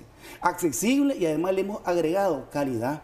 En el año 2007 eh, eh, eh, no, teníamos ni oxígeno. Y si alguien me quiere cuestionar, que me cuestione, pero todos los que estudiamos medicina en los años 90, recordamos que no habían antibióticos, no había oxígeno, los hospitales desatendidos. Entonces, la fortaleza es que el sistema de salud en los, años, en los últimos años se ha fortalecido. En la mascota tenemos tomografía, tenemos equipos de intervención, hacemos trasplantes, tenemos un modelo para atender niños con procesos de cáncer que es referencia mundial. lo que te quiero decir, un, modelo de salud, porque fíjate bien, no estoy hablando solamente de hospitales, un modelo de salud donde vos tenés una red comunitaria y, eso, eh, eh, Jocelyn, está escrito en todos los manuales, no, no lo dice este gobierno ni lo digo yo Está escrito, la participación comunitaria es fundamental para enfrentar estos problemas. Yo, creo que es algo de conciencia, ¿verdad? Y luego, si tenés un modelo de salud en donde además tenés centros de salud y hospitales con personal sanitario capacitado y con compromiso, vos ves mejores resultados. Entonces, ahorita vos me decís, doctor, ¿usted está seguro que solo están esos dos casos? Yo te digo sí, porque eso es lo que me preguntan, porque yo he visto cómo ha sido la intervención. Estas personas que van, doctor, casa a casa, aunque no tengan síntomas, no representan un foco de, contaminación potencial porque, recordemos, aunque no hayan síntomas, alguien lo puede transmitir y puede tener el virus por el tiempo de incubación. Te vuelvo a explicar, y eso es lo que muchos se preguntan. Te, vuelvo a explicar. Si tenemos dos casos, esa probabilidad es casi cero. ¿entendés? Es que si vos tenés, ¿verdad? en este caso, detenida la dinámica de la circulación del virus, o sea, la mayoría de la gente no, no va a tener. Cuando comience a circular y haya mayor número de casos... Ahí ya no habrían las visitas casa a casa. Claro, por supuesto. Entonces lo- ahorita tenemos dos casos con el núcleo que entraba en contacto, lo tenemos bajo un cerco. Los demás que no estamos incluidos en esos contactos, por ejemplo nosotros que no hemos entrado en contacto con esas personas, con esos contactos, tenemos esta libertad así. Entonces a mí me, me convierto, yo me convierto en un facilitador. Ese facilitador, llámese el compañero de la calle, el de la comunidad, el que dirige la cuadra, lo que sea, otro médico, un paramédico, él mismo se convierte en uno que también detecta, porque tenemos puntos ciegos que han entrado a Nicaragua. Eso es importante. Y entonces gente- vino ayer y me dice, en mi barrio sucedió. Eh, Julano que estaba en Honduras ya regresó. ¿Por dónde entró Julano? Un punto ciego. Que eh, ese compañero que en la casa va y le pregunta, ¿cómo estás? ¿Tenés fiebre? ¿Tenés algún síntoma? Porque detectando tempranamente a cada miembro, a cada caso sospechoso, es que podemos contener la situación. ¿Cómo ven ustedes el tema del, del cierre de, de fronteras? Algo que se ha pedido. Igual en su momento va a ser necesario, totalmente de acuerdo. Fíjate que de hecho ahorita ya tenemos cerrada la frontera con Costa Rica y con Honduras, ¿verdad? Ya de hecho están cerradas estas dos fronteras. Entonces lo siguen pidiendo, pero bueno, ya están cerradas. En el caso de los que vienen, ya sea por vía marítima o vía aérea, pues que no son de, esa- de- de esos- de esos países vecinos, entonces hay un control estricto de la gente que está llegando y se controla. ¿Cómo Pero el igual a la circulación, cuando la circulación se incremente ah, y, y pasamos a otras etapas, se tomará la decisión. ¿Cómo el Ministerio de Salud eh, está viendo el tema con las eh, instancias privadas de salud? Por ejemplo, también con las clínicas médicas previsionales. Usted me mencionaba que cuando son casos leves se pueden mandar a su casa. ¿Están en estrecha coordinación con usted? Entendemos que solo el Ministerio de Salud tiene eh, eh, la oportunidad de hacer las pruebas, Ah, ¿verdad? sí, sí, sí, Solamente el perdón, Ministerio de Salud. No, no. No, pero en, en ese sentido de la coordinación, ¿verdad? Llega un caso a la previsional, ¿cómo lo están coordinando usted? ¿Tienen toda esa información? Inmediatamente le pasa a la te previsional te la por instancia privada Te- al te- Ministerio de Te voy a dar la Salud. información de Managua, porque a, a- a veces es correcto, puedes escuchar números. Cinco encuentros ¿verdad? Con los hospitales privados y con todas las previsionales. Cinco encuentros para presentar el plan de acción y a escuchar sus recomendaciones con el sector privado. Pues, ha- habría que preguntar, pues, cuando queda la duda, pero te estoy diciendo. Cinco encuentros de enero para acá. Y eh, la semana pasada creo que fue el último encuentro, igual se presenta la, la actualización, porque hemos actualizado, Carlos, no me dejes mentir, tres veces el protocolo tuyo de atención clínica. Él es el jefe de servicios de salud, aunque no en cámara, él es el jefe de servicios de salud. Hemos actualizado tres veces el protocolo.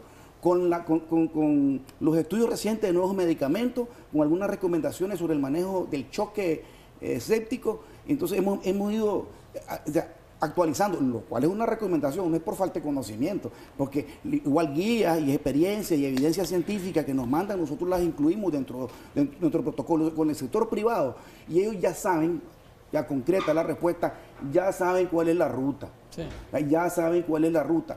O lo hacemos nosotros o lo hacen ellos acompañados con alguien de nosotros y eso va a llegar hasta el laboratorio del MINSA, del Ministerio de Salud, donde tenemos el equipo de... ¿Y qué eh, pasa con ese PCR. paciente que llega ahí mientras tienen los resultados de la prueba? Ya tienen orientación, al igual que todas las unidades del, del- del- del Ministerio de Salud, locales aislados, separados del resto. ¿No se debe Porque- ir a su casa? Ah, no, no, no, es que, no, es que eh, no, es que ese paciente no se queda ahí, solo espera.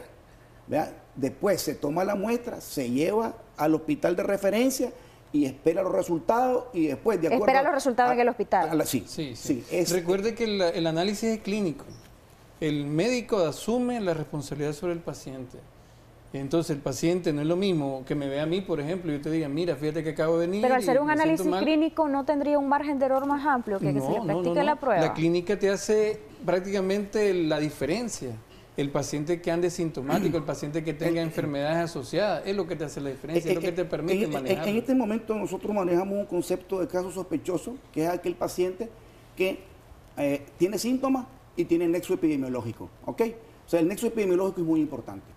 Ya sea, si es un caso importado, como los dos casos que vinieron, entonces se estudian todos los casos y se busca, como dice el doctor, en el examen, porque puede ser de que eh, él te diga, miren, no, siento ningún malestar y, me pasa a mí, yo llego y, le veo los ojos rojos.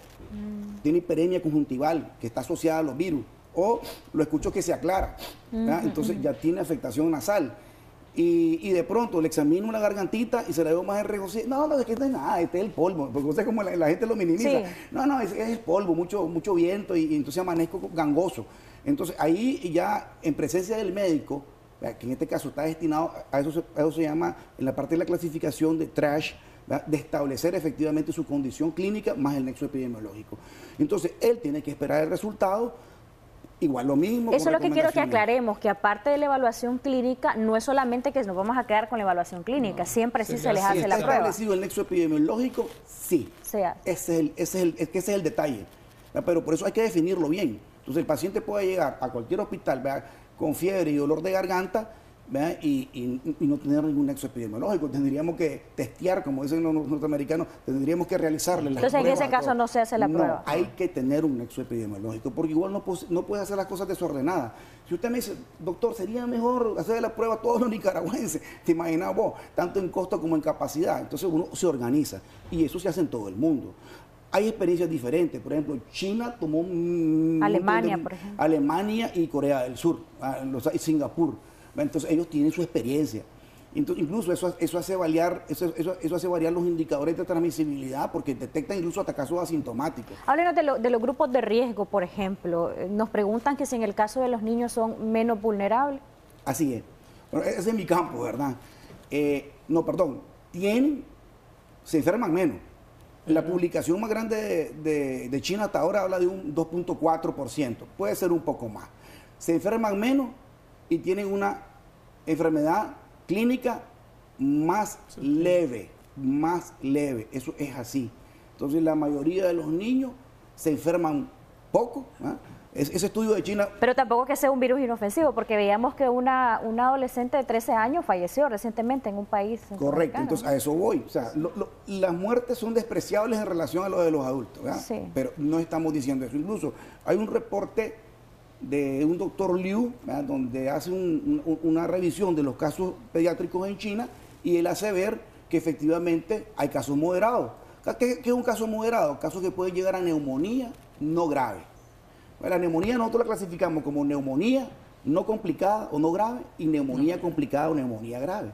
Entonces, se define pues ya gravedad a ese tipo de neumonía, que es el paciente que ya le hace falta oxígeno entonces, el paciente sufre eh, eh, afectación pulmonar y no puede oxigenarse. Entonces, la neumonía. ¿Y en ese caso es reversible? ¿Puede salvarse un paciente? Sí, sí, absolutamente sí. Te voy a dar datos, porque te digo, aquí es importante la confianza.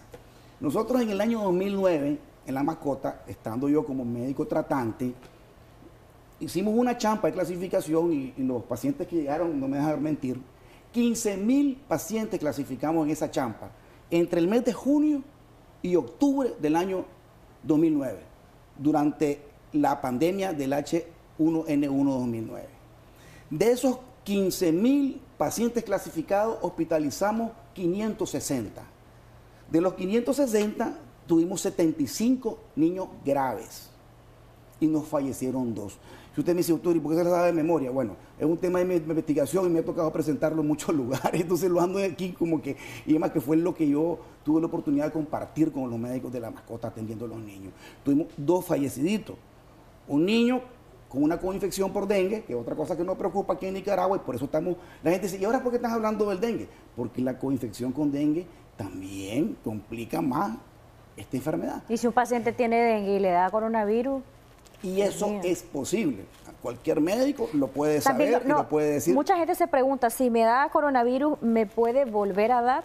No, hasta ahorita la respuesta se ha visto que es una respuesta bastante efectiva. Aunque hay alguna duda, ¿verdad?, al respecto, según lo que entiendo. Es que mira, en medicina nada está escrito en piedra. Si hemos dicho que este virus lo estamos terminando de conocer, es una verdad. Entonces, por ejemplo, se ha visto que este virus eh, alcanza grandes cargas virales.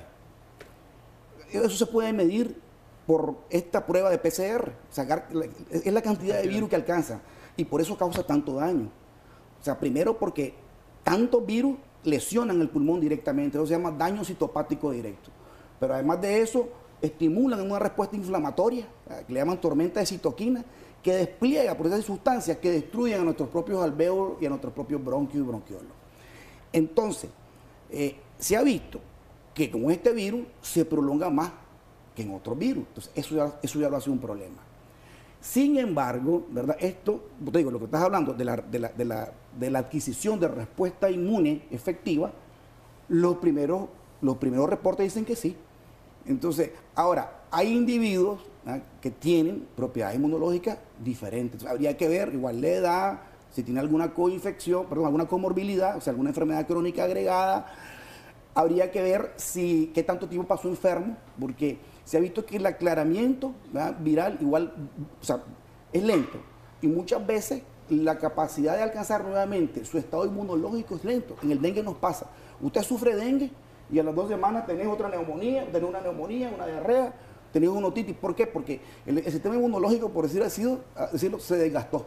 Entonces, esto, lógicamente, ¿qué pasa con este virus? Entonces, habría que hacer estudios más prolongados para estar clarísimo si la respuesta inmune va a ser una respuesta, digamos, para largo tiempo.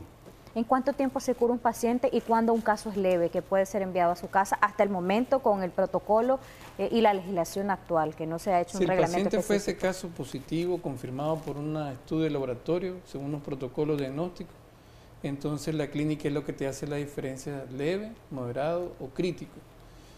Todos por sí dan fiebre, eh, ¿Qué es lo que lo hace más grave? Eh, el estado basal del paciente, los pacientes que son diabéticos, hipertensos, obesos, fumadores, padecen de alguna otra condición o les obliga a tomar medicamentos, como aquel paciente que fue trasplantado en algún momento y usa alguno de esos productos, lo hace más vulnerable.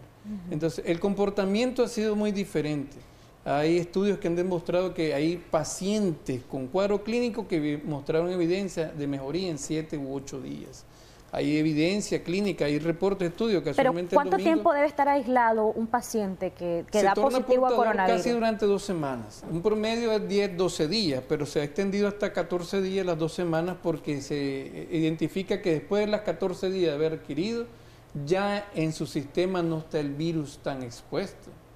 Pero ahí, puedo aportar algo más. Yo, explicaba que la reporte inmunológica es, variable. Entonces, eh, en el caso de la influenza, porque mucho, mucho de lo que hemos estudiado de influenza y otros virus, eh, lo estamos, eh, digamos, observando en este coronavirus. Entonces, los pacientes que han estado sumamente graves, ¿ah? ellos tardan en, eliminar el virus. ¿ok? Lo que normalmente pudiera ser para un paciente ah, con sus defensas normales, con su, se llama un paciente inmunocompetente, sano, que puede ser 7 a 10 días, aquel paciente que sufrió una neumonía muy fuerte, ¿qué te está diciendo? Que su sistema inmune o estaba débil o el virus lo debilitó. Porque te estaba comentando, usted me preguntaba sobre la mortalidad de, de, de los mayores de 65 años que hay reportes que van desde 15 hasta el 20%. Es, o sí, claro, uno de cada cinco, en algunos casos es alto. Pero ¿qué pasa?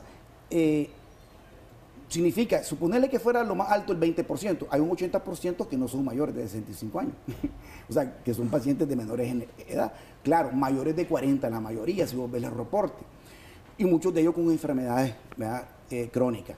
Bueno, aclaro, pues, como hemos dicho, eh, quiero acotar, el paciente que sufre una enfermedad grave, que estuvo en ventilador. Hay, pacientes que han estado hasta tres semanas en ventilador. Igual nosotros aquí lo tuvimos en la época de influenza. Ya te demostré que no se nos murieron, lo manejamos. Porque el principio del manejo de la neumonía y de la lesión pulmonar, en términos de terapia intensiva, de soporte, es similar al resto de las enfermedades. Claro, cuando un virus, una bacteria ya conocida tiene mayor patogenicidad, como la bacteria gran negativa, sabemos que tenemos mayor riesgo de morbilidad. A partir de la sintomatología inicial y de que el paciente llega y es confirmado el diagnóstico de coronavirus, ¿cuánto tiempo después se puede integrar a su vida normal? 14 días, 14 días es lo que está establecido, pero en el paciente grave lo valoramos nosotros. O sea, y, la recomendación es, y en un futuro pues ya, ya lo estamos revisando, poder hacer un control del virus, en el paciente grave, no, en todo, ¿ok? Entonces, suponete que es un viejito como yo, pues, de 70 años, digamos, un viejito que está y pasó dos semanas en ventilador, lo saco ¿verdad? del ventilador y todavía se vuela dos semanas más en el hospital. Está dos semanas más con nosotros. ¿Qué sucede? A ese paciente, si yo quiero estar seguro que ya aclaró, una alternativa es hacerle nuevamente la prueba y ver si ya no tiene virus. Y así yo confirmo. Entonces, eso lo hicimos en el influenza. Eso lo hicimos en el influenza en el 2009.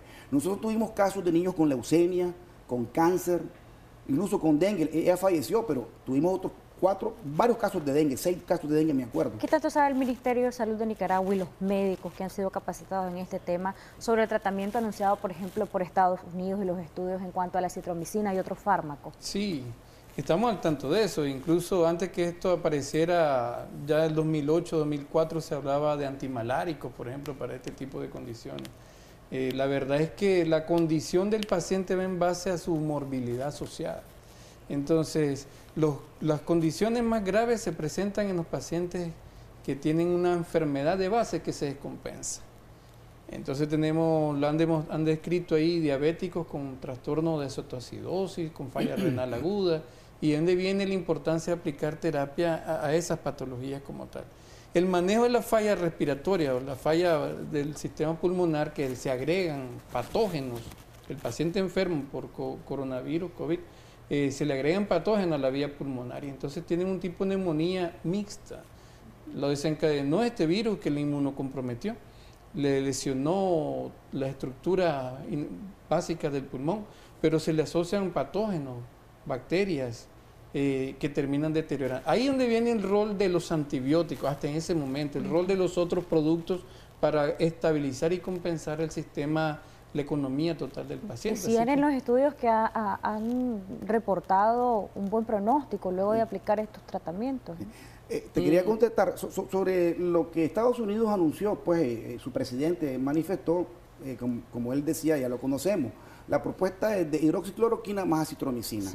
O sea, la, hidroxicloroquina, aparte de ser un antimalárico, de dos años, no sé cuánto, 30, 40, no sé cuánto, eh, se descubrieron, eh, se estudiaron sus propiedades antiinflamatorias y se usa en lupus eritematoso, sistémico, lupus discoide. Nosotros los neumólogos lo ocupamos en neumonitis intersticial y, y en esos casos lo que hace la regulación regula la respuesta inmunológica para evitar lo que te expliqué del daño inmunológico que causa esa tormenta de citoquina o de liberación exagerada de mediadores inflamatorios.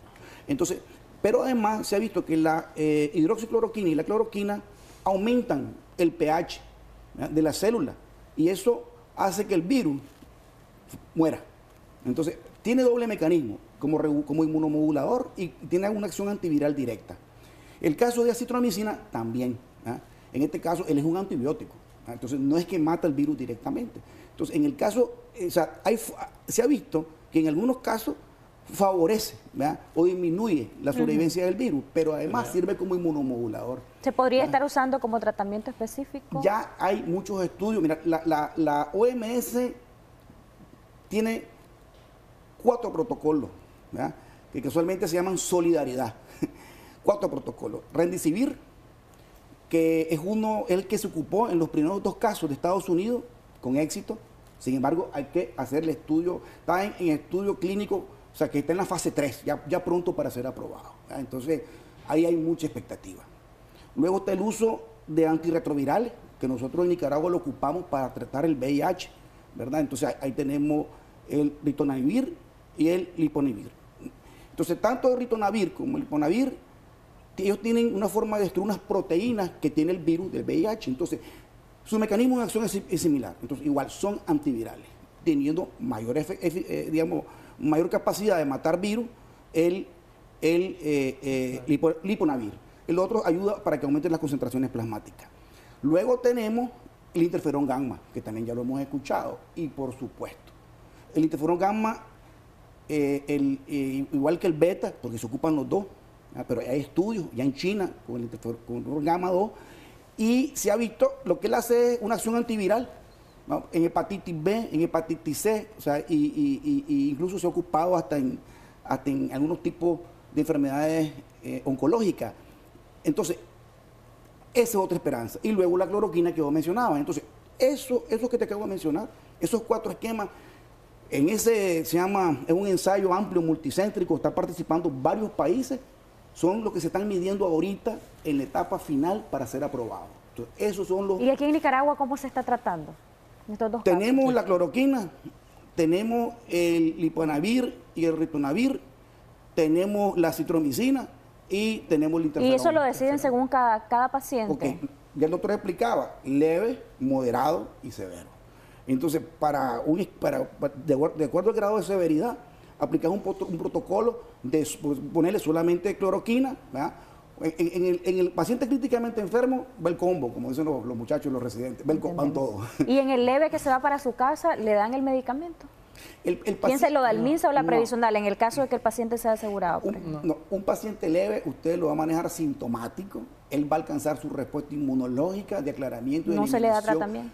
14 días de cuarentena, mantenga una alimentación, tomando bastante líquido y acetaminofén para el control de la fiebre. Pero sin tratamiento no pueden surgir complicaciones en ese paciente. Para nada, es que eso es lo que hablábamos. La respuesta inmunológica determina también, entonces precisamente los ancianitos, como ellos tienen su respuesta inmune un, poco, digamos, disminuida, pues, o, que les falta ya capacidad para ser eficaz, entonces ellos son víctimas de esto. ¿ah?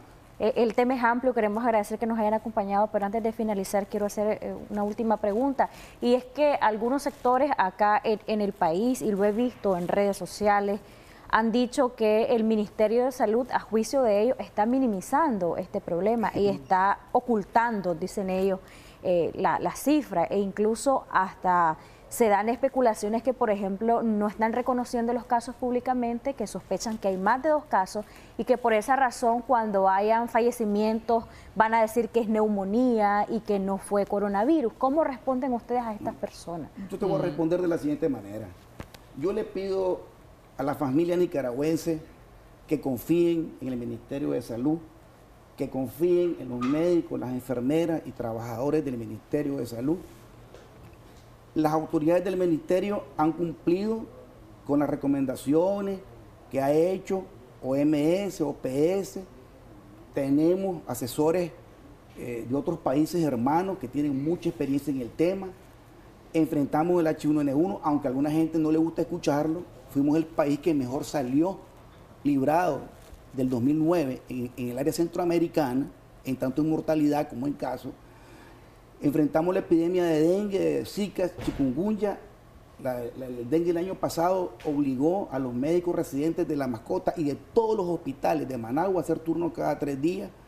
O sea, sumamente cansados, los hospitales llenos.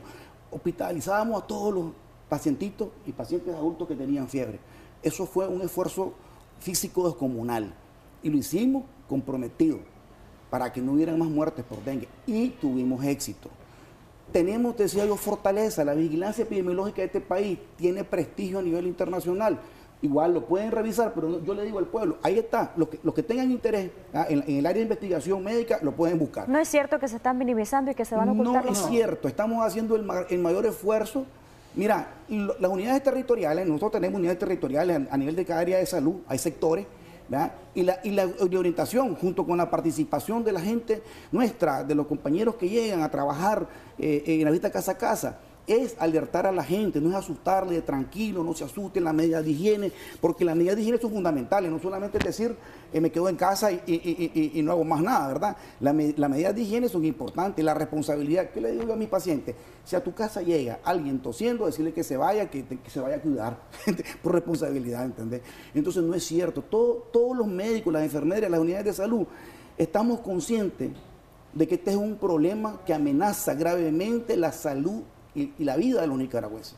Entonces, yo lo puedo decir como médico y estoy, estoy hablando en nombre de todos los hermanos médicos que estamos unidos en este esfuerzo a nivel nacional y que hemos sido capacitados, que nos preocupamos, porque esa es otra cosa, que no hay preocupación, claro que nos preocupamos. Nos preocupamos y nos desvelamos y estamos encima de los problemas, de los detalles y mejoramos. Todos los compañeros que tienen esa preocupación, que hagan propuestas propositivas las vamos a escuchar. Así como cuando lleguen, yo les recomiendo, cuando lleguen los... los bueno, han propuesto la suspensión de clase, han propuesto el cierre de fronteras, han propuesto la coordinación no, con la empresa privada. No, no, es que están proponiendo algo ya está escrito. En este contexto ah, correcto, ellos, bueno, ¿no? por eso, por eso entonces que vean... Antes de pasar a otra pero, fase, como no corresponde, no corresponde a un plan estratégico, no correspondería hacer un plan ordenado, a, a mantener una estrategia. Si vos querés ganar la guerra, mantener tu estrategia, no hagas loco. Y si alguien anda ahí asustado y diciendo que, mira, que se va a caer el puente, que va, que va a venir la lluvia, no, no, no. O sea, uno tiene que evaluar la situación de manera objetiva. Tiempo y espacio, cuáles son tus condiciones, o sea, condiciones particulares como país, como sociedad, eso lo hemos hecho, es a conciencia. Entonces ahora, yo te digo, yo respeto, porque es cierto, respeto y, y por eso digo que, que si salen nuevas propuestas está bien, las vamos a escuchar. Cuando lleguen a los encuentros con el Ministerio de Salud, los hospitales privados, que, que, que, lo, que los, los, colegas, que más que siempre nos encontramos, porque somos del mismo gremio, o sea, nos conocemos desde chavalos mucho, ¿verdad? Que lleguen a su propuesta y los vamos a escuchar. Igual y le volvemos a explicar. Por ejemplo, han, han hablado, doctores, sobre el tema de la, del ingreso de cubanos a Nicaragua y que más allá de tener los 14 días en aislamiento social se deberían de tener 40. ¿Hay razón para esto? ¿Tienen razón de plantear esto? No, no, para los médicos no, sino para, el, para la persona que viene procedente de Cuba o de otros países donde hay un foco de transmisión mayor de Nicaragua. No, pero no tiene justificación sí, por eso está la estrategia donde está planificada en base a un contexto científico. Hay una definición en base a ello. ¿De dónde se sacó que son 14? ¿Por qué la OPS? La OMS dice 14. Ah, por el comportamiento. Por excreción viral, por excreción viral. Así es. La carga viral o sea que los 14 días, si no presentó síntomas, puede... Entonces, te voy a explicar lo de los 40 días, con todo respeto al compañerito, a la persona que dijo esto. El término cuarentena, cuarentena. se dio en los años 1300, ¿ya? por una de esas grandes epidemias que, que, que, que tuvo la, la humanidad. Y entonces los barcos y precisamente en Italia comenzaron a hacerlo por italianos que desde entonces están sufriendo, no dejaban que los barcos, eh, o sea, que nadie bajara de los barcos 40 días. O sea, llegaban al puerto y, y, pasaban 40 días. Ese es el término cuarentena. Entonces, en aquel entonces no tenían la posibilidad de conocer el tiempo de excreción viral, ni la carga viral, no, no conocían la evolución de las enfermedades. Hoy a este virus le conocemos hasta los pelos. ¿Entendés? Las puntitas que tiene de coronavirus, ya sabemos cuántas coronitas tiene. El doctor decía un paso adelante y se me viene a, a, a la mente sí. algo que me decían algunas personas. Si los dos casos que están son importados, si se ha puesto en práctica el hecho antes de alejarlo, aislamiento social durante los 14 días, no tuviéramos caso. Precisamente, Pero, eso, es una, eso, es una, utopía, ¿ok? ¿Por qué, porque, porque la, esto es una pandemia, ¿eh? sí. ya está afectando a todos los países. Vos, vos introdujiste el, el, esta charla, porque el virus circula de manera que a veces no puedes controlar, sí. ¿entendés? Entonces, precisamente el momento es como para esperar al ladrón. Cuando llegue, le comenzás a dar, y son varios, va agarrando uno por uno. Entonces, esa es la lógica. Por eso es una estrategia científica basada en los principios básicos de la epidemiología. Planificación, organización, en tiempo y espacio, aplicando la ciencia a tu realidad. No vamos a aplicar lo de China para acá, ni lo de Italia para acá. Y eso lo sabe cualquier profesional. No es lo mismo hacer una casa en Managua que hacerla en Puerto Cabeza. Doctor, ¿por qué, ¿por qué no decir, me preguntan, cuáles son los 19 hospitales? Amor, son todos. Pues si lo hemos dicho, son todos de la cabecera departamental, pues comencemos pues. Ahí Somoto, eh, Ocotal, Masaya. Chinandega, León. Todos los hospitales departamentales y los regionales. Ahora, ¿por qué? Porque mira que no estamos engañando a nadie. Yo te decíamos que esto, todos estos hospitales departamentales en los últimos años ¿ah? hemos... Y aquí en Managua usted me decía es el alemán, ¿no? el alemán, pero el, el todo, tiene su... El, el, país, el Manolo, porque el, alemán lo mismo es la lógica que ahorita vamos poquito a poquito, ¿entendés? O sea, en el alemán, ponerle cuando ya tengamos más de, seis casos, tengamos más de tres niños, entonces, ok, entonces ahora vamos, vamos, la lógica gradual, ese es el plan estratégico, un desarrollo de acciones de forma paulatina que te permita concentrar tu que yo esfuerzo. se lo, se lo volví a preguntar porque al doctor Sáenz sí. le preguntamos acá sí, que cuáles sí. eran, sin embargo, pues tuvo no, alguna receta de mencionarlo, pero eh, está muy bien que ustedes mencionen que cada hospital cada regional hospital de cabecera, ¿verdad? Con, con Son sus capacidades. Yo, yo, yo, te voy a decir, a lo, a lo mejor me va a regañar alguien y me va a decir, mira, nosotros para el 2009 el ejército ya prepara un hospital de campaña, vea Carlos Cruz, pero, no, lo estamos haciendo. ¿Y dónde están, los, dónde están los, 300 pacientes que se están muriendo? O sea, sería locura. Y lo estoy diciendo por decirlo, Carlos, no vayas a decir que yo estoy diciendo que vamos a un hospital de campaña, pero aquí el ejército ya está trabajando con el Ministerio de Salud. Y el día de mañana, porque van a decir, ¿por qué no hacen un hospital en, dos semanas como en China? Tenemos capacidad de poner más hospitales en uso de campaña. Pero con los hospitales que tenemos, y, yo, yo insisto, nosotros confiamos, y tal vez nos ves así tan tranquilo, relajado, en la fortaleza del sistema y el modelo de salud de Nicaragua, y que ha sido eficiente, que ha sido puesto a prueba. Y, y en el 2009 salimos bien. El año pasado salimos bien. El sí que salimos bien. el miedo, doctor, que existe y que exteriorizan algunas personas es porque hacen un comparativo y dicen nuestro sistema de salud es vulnerable en comparación al de España, por ejemplo, y a pesar de ser un, sistema de salud con mayores alcances, está abarrotado, está saturado. Entonces, en ese sentido, ¿qué mensaje le puede dar a la, a la población ya para finalizar? Porque ya se nos acaba De acuerdo, es que ese es un concepto equivocado. El tener mil hospitales no te hace estar libre de la, de la pandemia. Y la capacidad que vos puedas tener de detectar casos y de transportarlos oportunamente a las unidades de salud, a los casos graves, a los casos graves. Precisamente como te digo, este plan eh, eh, es un plan que contempla diferentes momentos, diferentes acciones y en diferentes sitios. Entonces nosotros, yo estoy seguro que tal vez en la, y ojalá que sea que por nuestro manos del Caribe, como, hay menos concentración urbana, hay menos casos. Eso está demostrado. No es lo mismo vivir en esos apartamentos en China o en Japón, no sé dónde, por China, pues, que fue donde, eh, circuló más rápido, pues, porque no se detectó a tiempo, y hay esa gente vive en hacinamiento. y, eso, digamos, transporte son hacinamientos, ¿no? El, el, metro, el tren, o sea, las personas tienen un contacto más cercano. Ahí, ahí están las recomendaciones técnicas.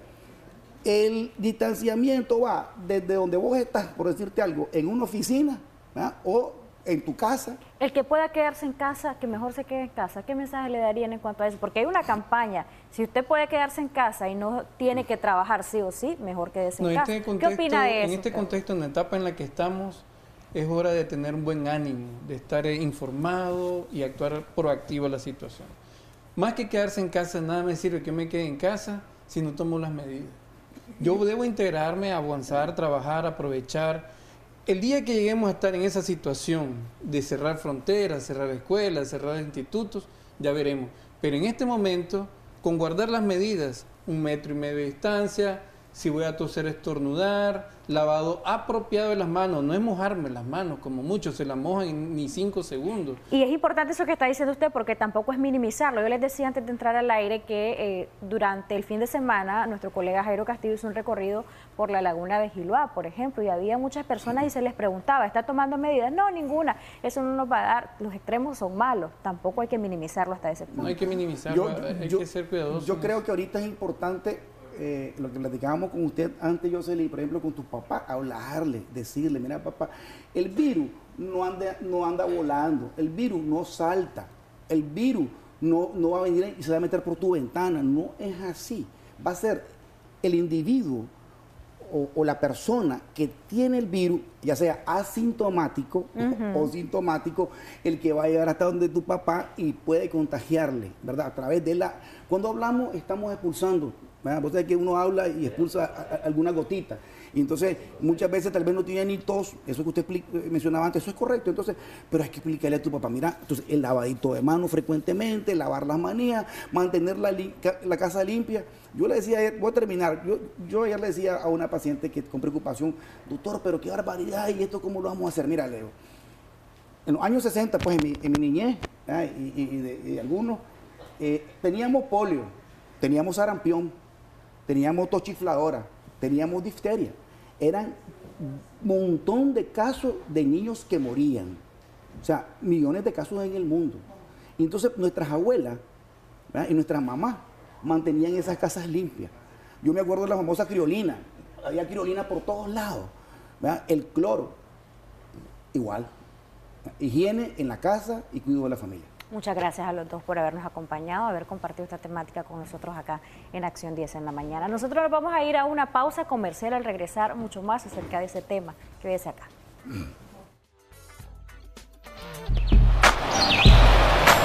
Ya regresamos con Acción 10 en la mañana.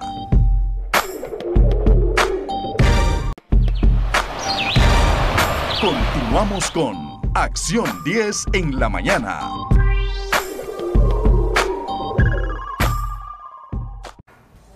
Gracias, qué bueno que puede continuar con nosotros aquí en Acción 10 en la mañana. Seguimos hablando acerca de los protocolos de atención eh, a propósito del el coronavirus o COVID-19. En nuestro país ya se han registrado dos casos que según el Ministerio de Salud se encuentran controlados y estables y también se han realizado diversas pruebas eh, una cantidad de aproximadamente 5 o 6 personas, si no me equivoco, y que también eh, están en observación para determinar la atención que éstas requieren. Vamos a seguir hablando acerca de cuáles deberían de ser estos protocolos o cuáles son los protocolos que se están eh, realizando en nuestro país para atender la pandemia. Willy Narváez. Ya tenemos a otro experto, el doctor Alejandro Lagos, máster en seguridad pública, que nos acompaña esta mañana. Bienvenido y gracias por estar aquí. Salud pública. Salud pública. Sí, muchas gracias por estar aquí con nosotros. Ah, muchas gracias a ustedes, ¿verdad?, por haberme invitado y, aportar pues a la población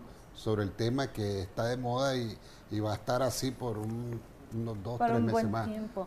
Eh, doctor, escuchábamos a los eh, representantes del Ministerio de Salud explicar un poco cuáles son los protocolos que ellos están eh, aplicando y aseguran estar ejecutando los planes que la Organización Mundial de la Salud le está recomendando en esta etapa. Ellos aseguraban que en la etapa en la que se encuentra la pandemia o la enfermedad en nuestro país no requiere el aislamiento social o la eh, la separación social o no asistir a centros públicos o, en momentos de eh, aglomeración de personas. El, eh, el, Estado está aplicando realmente las medidas que la OMS recomienda en otros, en otros países, en otras circunstancias. Bueno, mira, este, lo cierto es que eh, el distanciamiento social es una estrategia y una herramienta y un arma de contención del coronavirus. Esto lo sabe Italia, esto lo sabe la misma Wuhan, China, esto lo sabe Francia, esto lo sabe España, esto lo sabe Alemania. Y en Latinoamérica, precisamente no es por mera coincidencia que, que nosotros, este, eh, perdón, que los países han tomado estas medidas e incluso han llegado hasta declarar eh, toques de queda. Eh, ha sido obligatorio no salir a la calle, este, precisamente porque el distanciamiento social es, el que ha, es el que ha permitido, permitido de que la lucha antiepidémica dé un mayor, sea más contundente, más contundente en el sentido de que no haya más casos expliquemos en qué, cómo es que funciona el distanciamiento social. Esto no cura la enfermedad, pero sí eh, eh, refuerza los sistemas de salud, es lo que hemos eh, leído en, algunas, en algunos protocolos que se han ejecutado. Tal vez sí le explicamos cuál es el, funcionamiento, la idea de esto. Bueno, mire, este, en realidad que estas son conveniencias. Conveniencia para el Ministerio de Salud es que no haya más casos Conveniencia para el Ministerio de Salud es precisamente que no haya un brote, es decir, que no haya un número de casos eh, de forma espontánea que vayan a colapsar las unidades de salud del ministerio. Ya hace ratito oíamos a los funcionarios ¿verdad? del ministerio decir de que no necesariamente es el alemán nicaragüense, sino que son todos los hospitales de Managua los que están destinados a atender el coronavirus. Entonces, este, ¿El distanciamiento social en qué consiste? Bueno, eh, que nosotros no tengamos contacto directo con una persona tosedora, una persona mocosa, una persona que anda estornudando a cada rato y que con eso nosotros aumentemos el riesgo de que una de esas pulverizaciones, de esas eyecciones de moco o de saliva, pues venga el coronavirus porque sea un paciente asintomático y nuestras defensas no respondan como respondió este que era portador sano o un portador asintomático y que nosotros en nuestra casa, pues lógicamente transmitamos a todo el núcleo, el núcleo familiar y como consecuencia pues tendremos que ir a la unidad de salud y con esto tensionaríamos ese, ese, eh, los servicios de salud, los servicios de emergencia y esta es principalmente la estrategia pues del distanciamiento social o el distanciamiento seguro. El distanciamiento social es el, el autoaislamiento, ¿verdad? La persona en su casa. El distanciamiento seguro es estar entre una persona y otra tosedora o otra productora de saliva o de moco, ¿verdad? De más de un metro. Ahora la OPS está diciendo más de un metro, un metro veinte, un metro cuarenta. Entre más retirado, es más seguro. ¿Es una medida extrema el iniciar con este distanciamiento social en estos momentos en nuestro país? Le voy a decir una cosa. Eh, eh, yo tuve la oportunidad de agarrar una colita de lo que estuvieron hablando los, los médicos, ¿verdad? Y en realidad, si usted analiza el, eh, el dinero que ocupa el Estado per cápita en cuestiones de salud, nosotros estamos bien abajo. El Ministerio de Salud está apostando de que tiene la capacidad suficiente de infraestructura y de recursos humanos para hacerle frente, aunque seamos, aunque fuéramos 3 millones de habitantes, aunque fuéramos 2 millones de habitantes. No aguantaría una avalancha de unas 500 personas con tos extremas y como hay viejos también y hay niños, esto que decía el pediatra, no, que la influenza, que el H1N1, es cierto, hemos, hemos tenido virosis que han afectado a mucha gente y ha puesto en duda, ha puesto en entredicho la capacidad de la mascota, que es principalmente a niños, que lo hemos visto abarrotados, lo hemos visto niños por aquí, niños por allá, niños por fuera de los ambientes normales que tiene internamiento los hospitales pediátricos. Ahora, quiero citar eh, textualmente lo que decían a estos médicos que comparecieron anteriormente. Dice, les preguntan por qué tienen esa excesiva confianza con respecto al manejo del coronavirus y respondí, se respondía el mismo, dice, porque tenemos fortaleza, calidad y la salud es accesible, lo reconoce la OPS. En los años 90 no habían antibióticos ni oxígeno, dice, pues prácticamente dijo que el modelo eh, de los años 90 fue eh, completamente pésimo y en los últimos años se ha fortalecido. en realidad, verdad. Este, solo que no vayan uno a las unidades de salud, a las emergencias, a las consultas externas,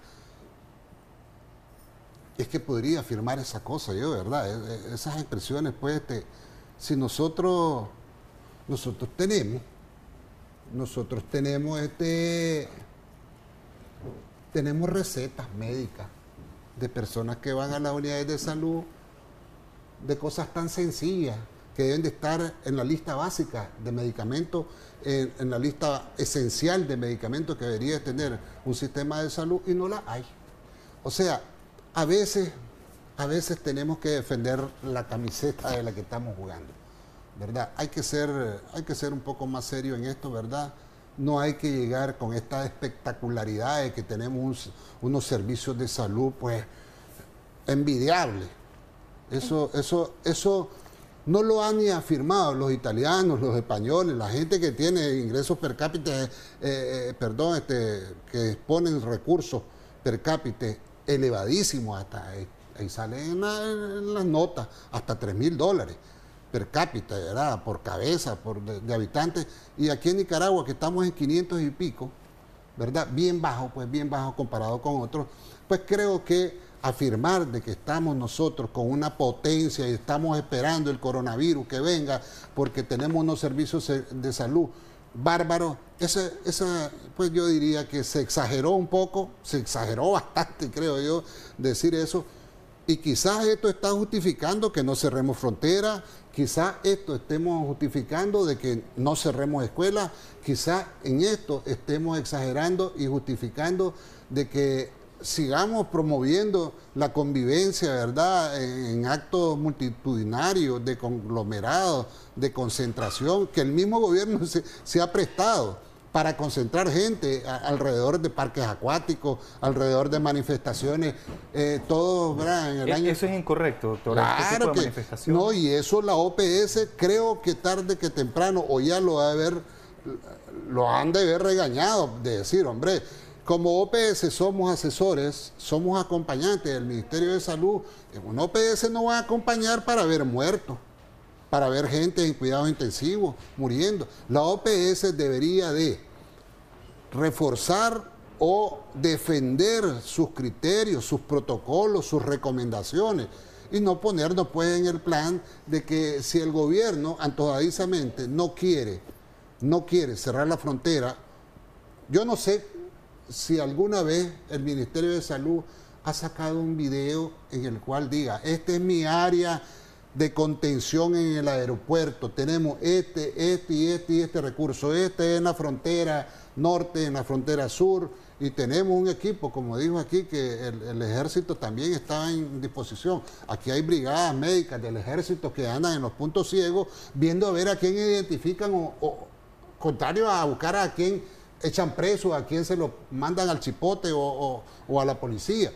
Creo que hay alguna hay, hay algunas inexactitudes o, algunas cosas que los funcionarios del Ministerio de Salud siguen, siguen con el mismo modelo de los años 80.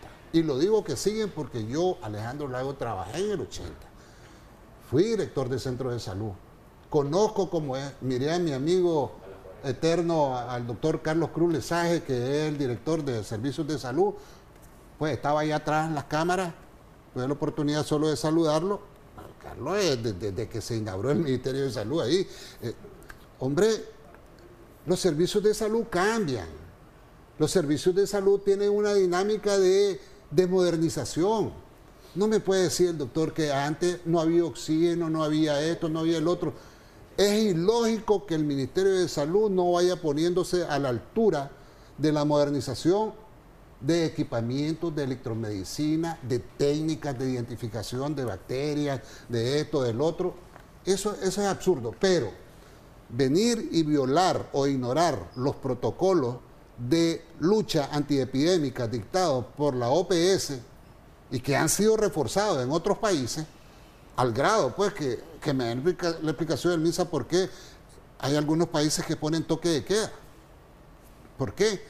La justificación que ellos expresaban en distintas ocasiones es que no estamos en esta fase de la enfermedad. Ellos califican en cuatro fases la enfermedad, nosotros estamos en la fase 1 y es hasta como en la fase 3 o 4 que se inician con eh, los toques de queda y las cuarentenas para todo el país. Eh, la pregunta es, ¿se debe esperar a que se empiecen a registrar 100 casos, 200 casos para iniciar a tomar este tipo de medidas o debería de tomarse alguna medida preventiva? Porque de momento, doctor, y reforzando tu pregunta, complementando, hay dos casos confirmados, seis sospechosos según lo divulgado por las autoridades de salud y eh, en su comparecencia el secretario general del MINSA el lunes afirmó aquí que se habían realizado aproximadamente 200, pruebas a personas sospechosas pues, de coronavirus.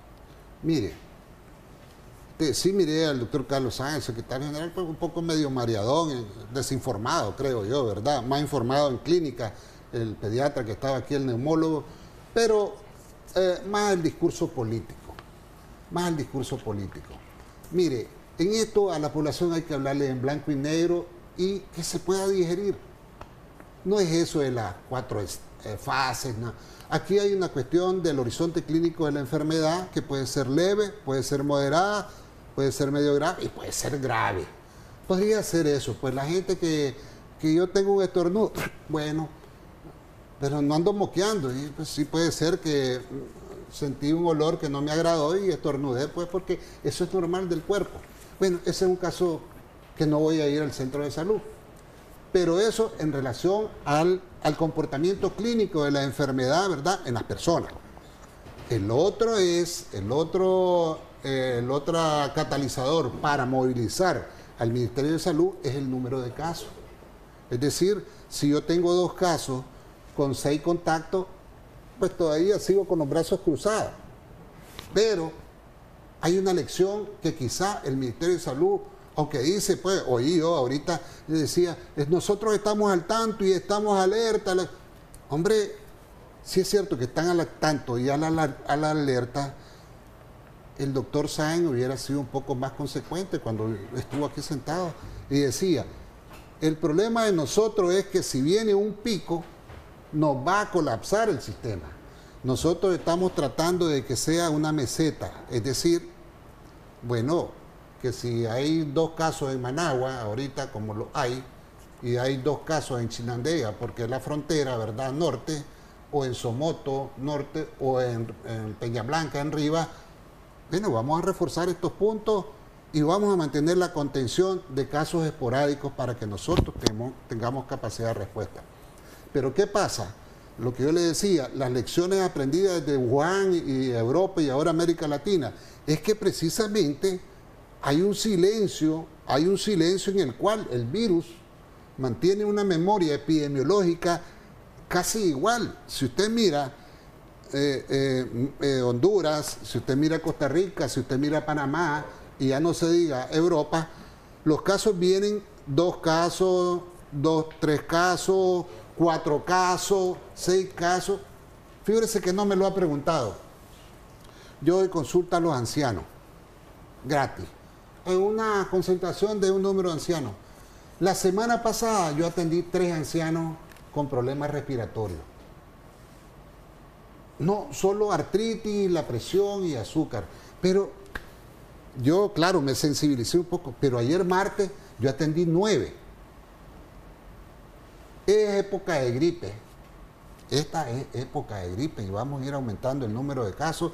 Y qué bueno que dice que están duchos en, diferenciar, hacer eh, eh, diagnóstico clínico de diferencial, ¿verdad? Entre una gripe normal, entre un coronavirus COP, MERS o SARS y el otro el COVID-2 o el COVID-19. Pues qué bueno eso. Pero la verdad es que ya el virus está comenzando a posicionarse en la base del pico epidemiológico que va a ser. Y ahí es donde yo diría, no hay que venirse a llenar la boca. Que Carlos Cruz, no me, no, me vayan a regañar por allá porque dije que. No, el ejército ya debería estar en el Estadio Nacional, en el antiguo, haciendo una covacha enorme para unas 50 camas. Aquí ya debería estar este, el, otro, el otro hospital de campo, hospital de campaña, en el otro estadio. Aquí ya deberíamos de estar eh, llamando a los párrocos de los barrios diciéndole, señor párroco, si aquí se arma una epidemia por esta irresponsabilidad de no tomar las medidas de aislamiento o distanciamiento social o, pues este, autoaislamiento que el gobierno no lo ha querido hacer, nos va a prestar su parroquia para que en el barrio Altagracia, donde vive el doctor Lago, ayude con los médicos, porque el MINSA va a ser insuficiente. Dice que hay, ¿cuántos? 51 ventiladores. Hombre, si, cuando viene la epidemia y en su fase, en su, en su expresión máxima de gravedad, lo que tiene es estrés respiratorio. Olvidémonos de que el azúcar se te va a disparar y que va a buscar una máquina pues, que te va a poner insulina cada rato. Pero no, aquí el problema que mate es que los ahoga. Y el resto, pues ya sabemos que entre mayor edad y mayor complicación, o enfermedades agregadas, pues eso te va a poner en, un margen casi cerca del hoyo, pues casi, ya no diría ni de la vela, porque ya en el protocolo dice que vas de viaje, sellado, de ahí al hoyo. Así que yo pienso, eh, muchachos, de que el Ministerio de Salud sigue tocando a Dios con las manos sucias. Me extraña que hay epidemiólogos buenos en el Ministerio de Salud que quizás no tienen esa libertad de expresarse, no tienen esa libertad de autonomía, de ejercicio profesional y, que puedan decir las cosas como deben de ser. Perfecto, muchísimas gracias doctor por eh, brindarnos sus opiniones y sus recomendaciones con respecto a este, esta enfermedad. Eh, sus recomendaciones finales para las personas que están tomando la decisión de tomar sus propias medidas de protección. Bueno, yo, yo, yo sigo felicitando a la población, ¿verdad? Porque a pesar de que no es una cuestión oficial de distanciarse o recluirse o confinarse en su hogar, creo que están haciendo un gran trabajo. A lo interno, pues hay que, ya saben, el lavado de manos, como 20 segundos, hay una técnica, ahora todo el mundo tiene internet, cómo lavarse las manos, ¿verdad? Con agua, con agua y jabón, hay que cuidar los ancianos, hay que cuidar los ancianos que tienen enfermedades eh, adicionales o concomitantes, hay que tener listo su antihipertensivo, su eh, medicamento para la diabetes. que evitar que se les complique de asma, de enfermedades respiratorias y los que aún están yendo a trabajar y que se usan medios colectivos de transporte, nosotros sabemos pues que ahí hay este, gente que tose y pues no vamos a andar escondiéndonos. Es pedirle a los empleadores, ¿verdad? A sus patrones que pongan dispositivos donde lavarse las manos, que es mejor que el gel ahora, que ahora es un gel comercial que lleva más almidón que, que alcohol, ¿verdad? Que se pegue en la mano.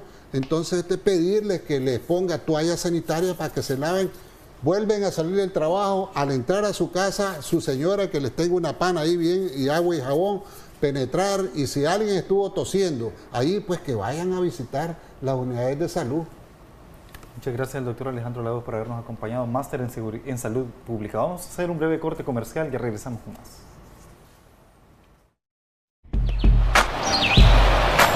Ya regresamos con Acción 10 en la mañana.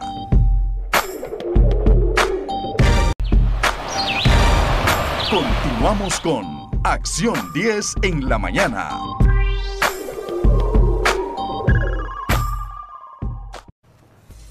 Gracias por continuar con nosotros y es que en el segmento debate interactuar con nosotros a través de nuestra página Canal 10 Nicaragua. Vamos a presentarles a continuación los gráficos en cuanto a la participación que tuvieron nuestros invitados el día de ayer. Vemos en pantalla al doctor José Antonio Yerdis, psiquiatra del Ministerio de Salud. 121.839 personas alcanzadas. Esta entrevista generó 44.000 reproducciones. Obtuvimos 24.037 interacciones. Asimismo, generó 4.400 comentarios, 855 me gusta y fue compartida en 168 ocasiones. Otro de nuestros invitados fue el epidemiólogo Leonel Argüello. Con este invitado, pues obtuvimos 176.452 personas alcanzadas. La entrevista eh, tuvo 57.000 reproducciones, asimismo 28.079 interacciones, parte pues de las eh, participación de los amigos que nos interactúen con nosotros a través de las redes sociales.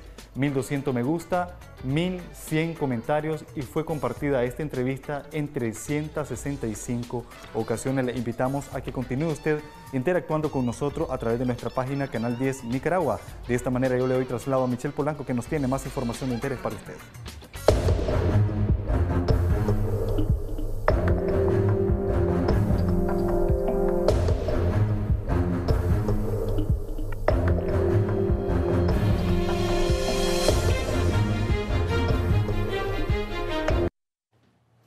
Gracias, Willy. Nosotros vamos a hablar acerca del turismo y cómo este está siendo afectado por diversas formas. En este caso, se encuentra con nosotros Milton Arcia. Él es empresario turístico nicaragüense, quien viene a comentarnos una situación en la que se está viviendo en el sector que él atiende y son los ferries que viajan hasta la paradisíaca isla de Ometepe. Bienvenido, Milton. Gracias por estar aquí en Acción 10 en la mañana. Si nos comenta rápidamente cuál es la situación que usted como empresario turístico está viviendo en el sector de la rehabilitación y en el recorrido Gracias por la oportunidad. Bueno, este, en primer lugar, pues ya el coronavirus hablaron todos los médicos. Estamos tomando todas las medidas, ¿verdad? En los ferries, de, la medida de sanidad, eh, al respecto de esto.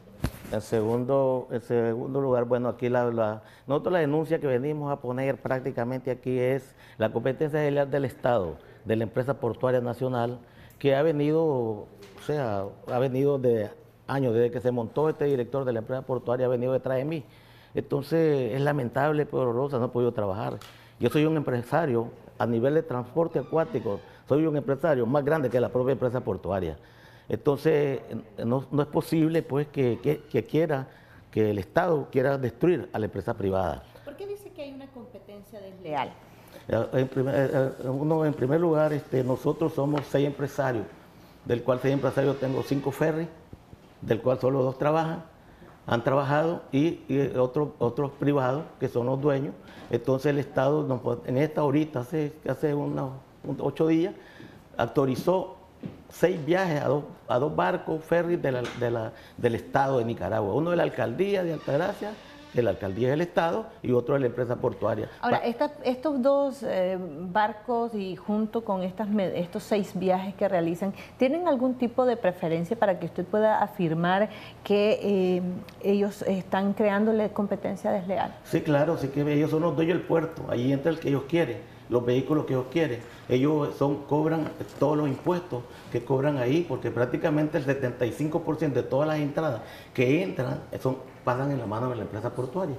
O sea, la empresa portuaria prácticamente es una aduana que está instalada ahí, nos cobra nosotros, nosotros le pagamos miles de córdobas diarios por atraje, atracaje, boya, eh, servicio eh, portuario, entonces logra el, el, tamaño del barco, diario le pagamos una cantidad de plata, ellos no pagan nada, ellos están con combustible subsidiado, el galón de combustible a ellos se lo dan a 45 córdobas porque ese es el valor real del valor del combustible. El combustible cuesta 45 córdobas. El pueblo de Nicaragua no sabe eso.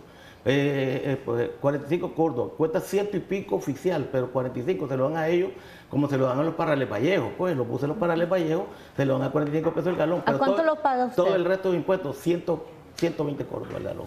¿Y de este, impuestos cuánto paga? Y de impuestos pagamos miles de miles de miles. Solo imagínense ahorita, los últimos tres meses, al, al, al, al INS le acabamos de pagar casi un millón de Córdoba. Entonces prácticamente vamos, vamos a la quiebra. Nosotros somos una empresa que prácticamente nos está mandando el Estado a la quiebra con esa competencia de... A la, empresa, portuaria, en, los puertos, tanto de la, de la isla como en el puerto de San Jorge, ¿cuánto impuesto ustedes le pagan? ¿Y cuánto impuestos estarían pagando o están pagando los otros barcos que ustedes aseguran no tienen eh, o tienen preferencia? O sea, o sea, nosotros pagamos un promedio, le pagamos como 200 mil córdobas mensuales. Yo, mi empresa le paga más de 200, más de 200 mil córdobas mensuales a la empresa portuaria. La empresa portuaria no paga, a ellos no paga nada. Ahora, ¿estos impuestos se pagan independientemente haya o no haya em, circulación de personas? Diario, ah, se paga diario, diario se paga, se paga diario. Entonces es un pago fijo, diario.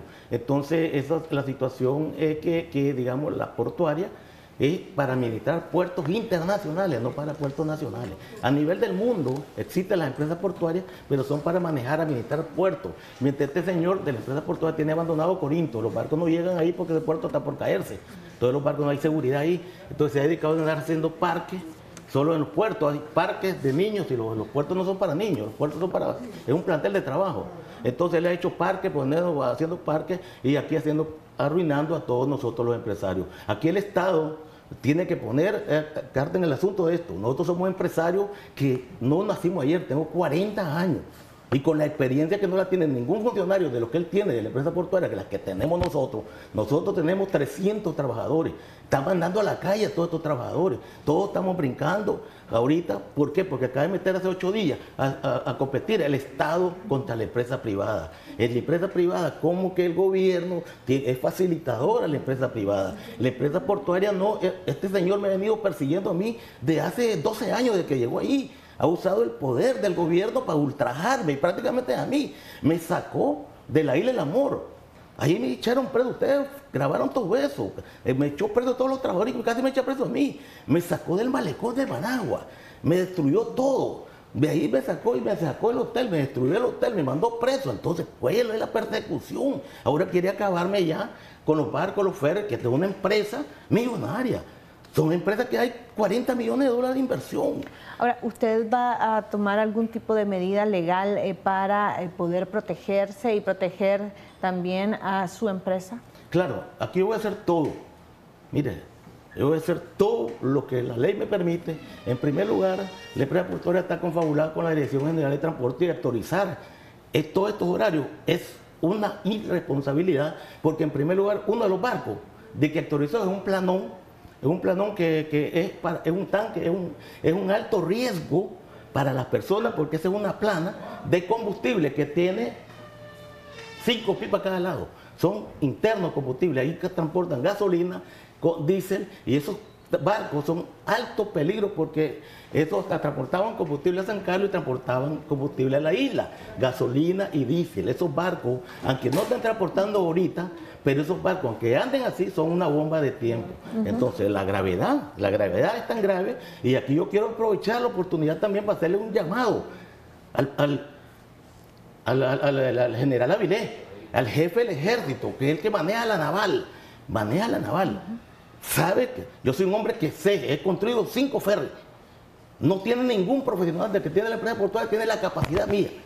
He construido cinco ferries. Tenemos maquinaria mejores que la puerta portuaria. Y acabar esta empresa significa solo porque al usar la ley del rifle, la ley del poder, la ley del ejército, la ley de la policía, la ley del gobierno, ultrajarme. Pero yo no me voy a quedar quedito. Tenga la absoluta seguridad que yo voy a luchar hasta mi último consecuencia, que, hasta que entregar mi vida. Porque me han, a mí me han arrastrado, me han ¿En qué país del mundo meten preso a un empresario? Lo ultran solo por producir, por dar trabajo. Solo aquí en Nicaragua se mira esto. Solo aquí, en la ley del rifle, la ley del poder, ultrajar a un hombre que, es lo que hace solo dar trabajo. No le damos, no, nosotros no dañamos a nadie, solo dar trabajo. Y aquí la naval, que es la policía de tráfico, disculpe, la policía de tráfico. La naval es irresponsable, irresponsable, actualizar ese barco. Ese es un barco tanquero de combustible. ¿Ustedes han interpuesto algún tipo de queja, por ejemplo, con la naval o con la misma empresa portuaria acerca de este, eh, estos barcos que están circulando y que según usted no prestan las condiciones para brindar el servicio de transporte? Mire, este, yo soy hombre empresario bien prudente. Mire, pero cuando yo saco la calle ilustrar el indio nicaragüense, usted sabe que nosotros tenemos que denunciar todas las barbaridades que hacen estos funcionarios yo no lo he querido decir porque lo mandaban a veces de emergencia. Bueno, vamos a ponerlo de emergencia porque un barco...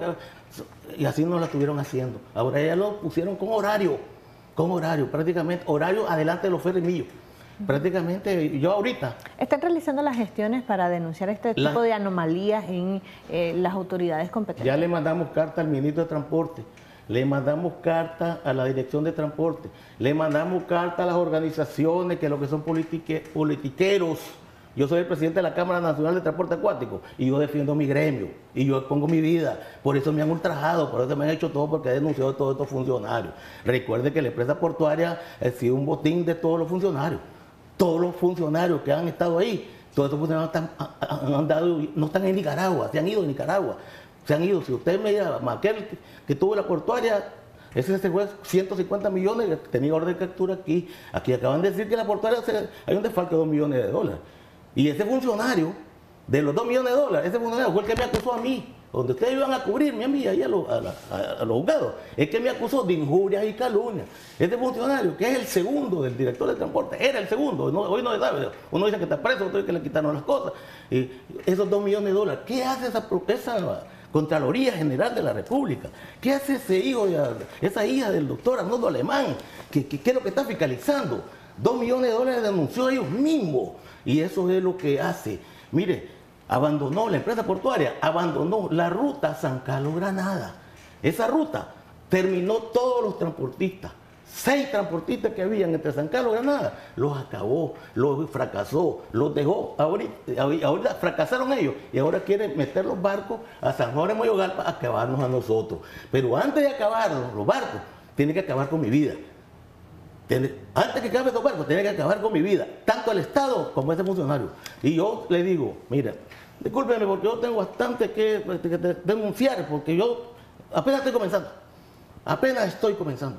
Aquí es irresponsabilidad del, Ministerio de Transporte actualizar un banco pipa de combustible.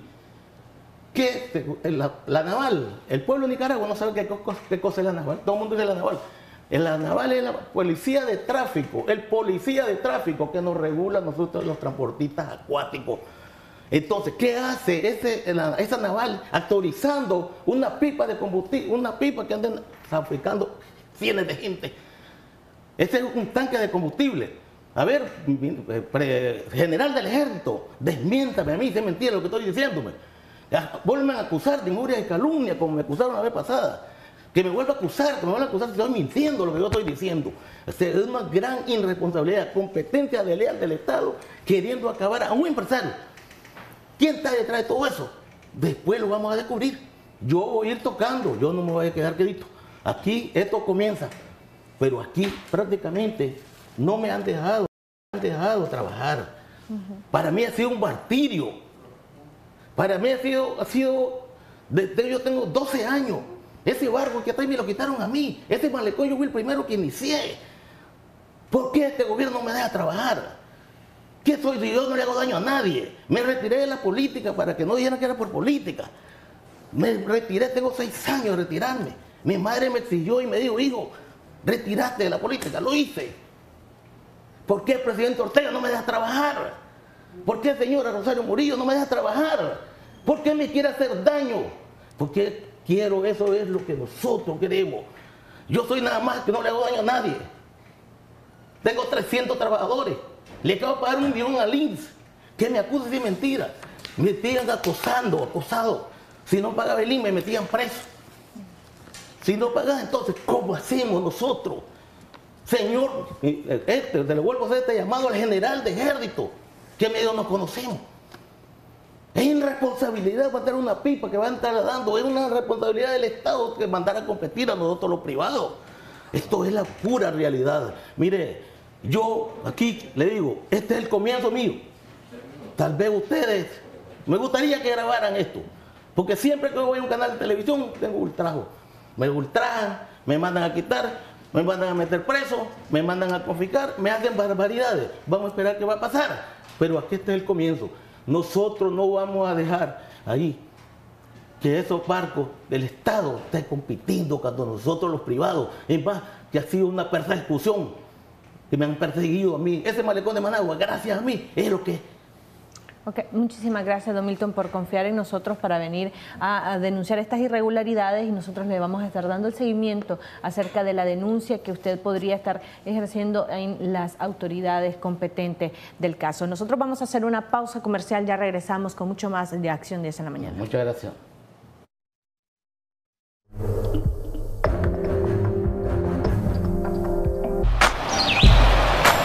Ya regresamos con Acción 10 en la mañana. Nos vamos, será hasta mañana si Dios lo permite. Recuerde sí, sintonizar Acción 10 mediodía y noche.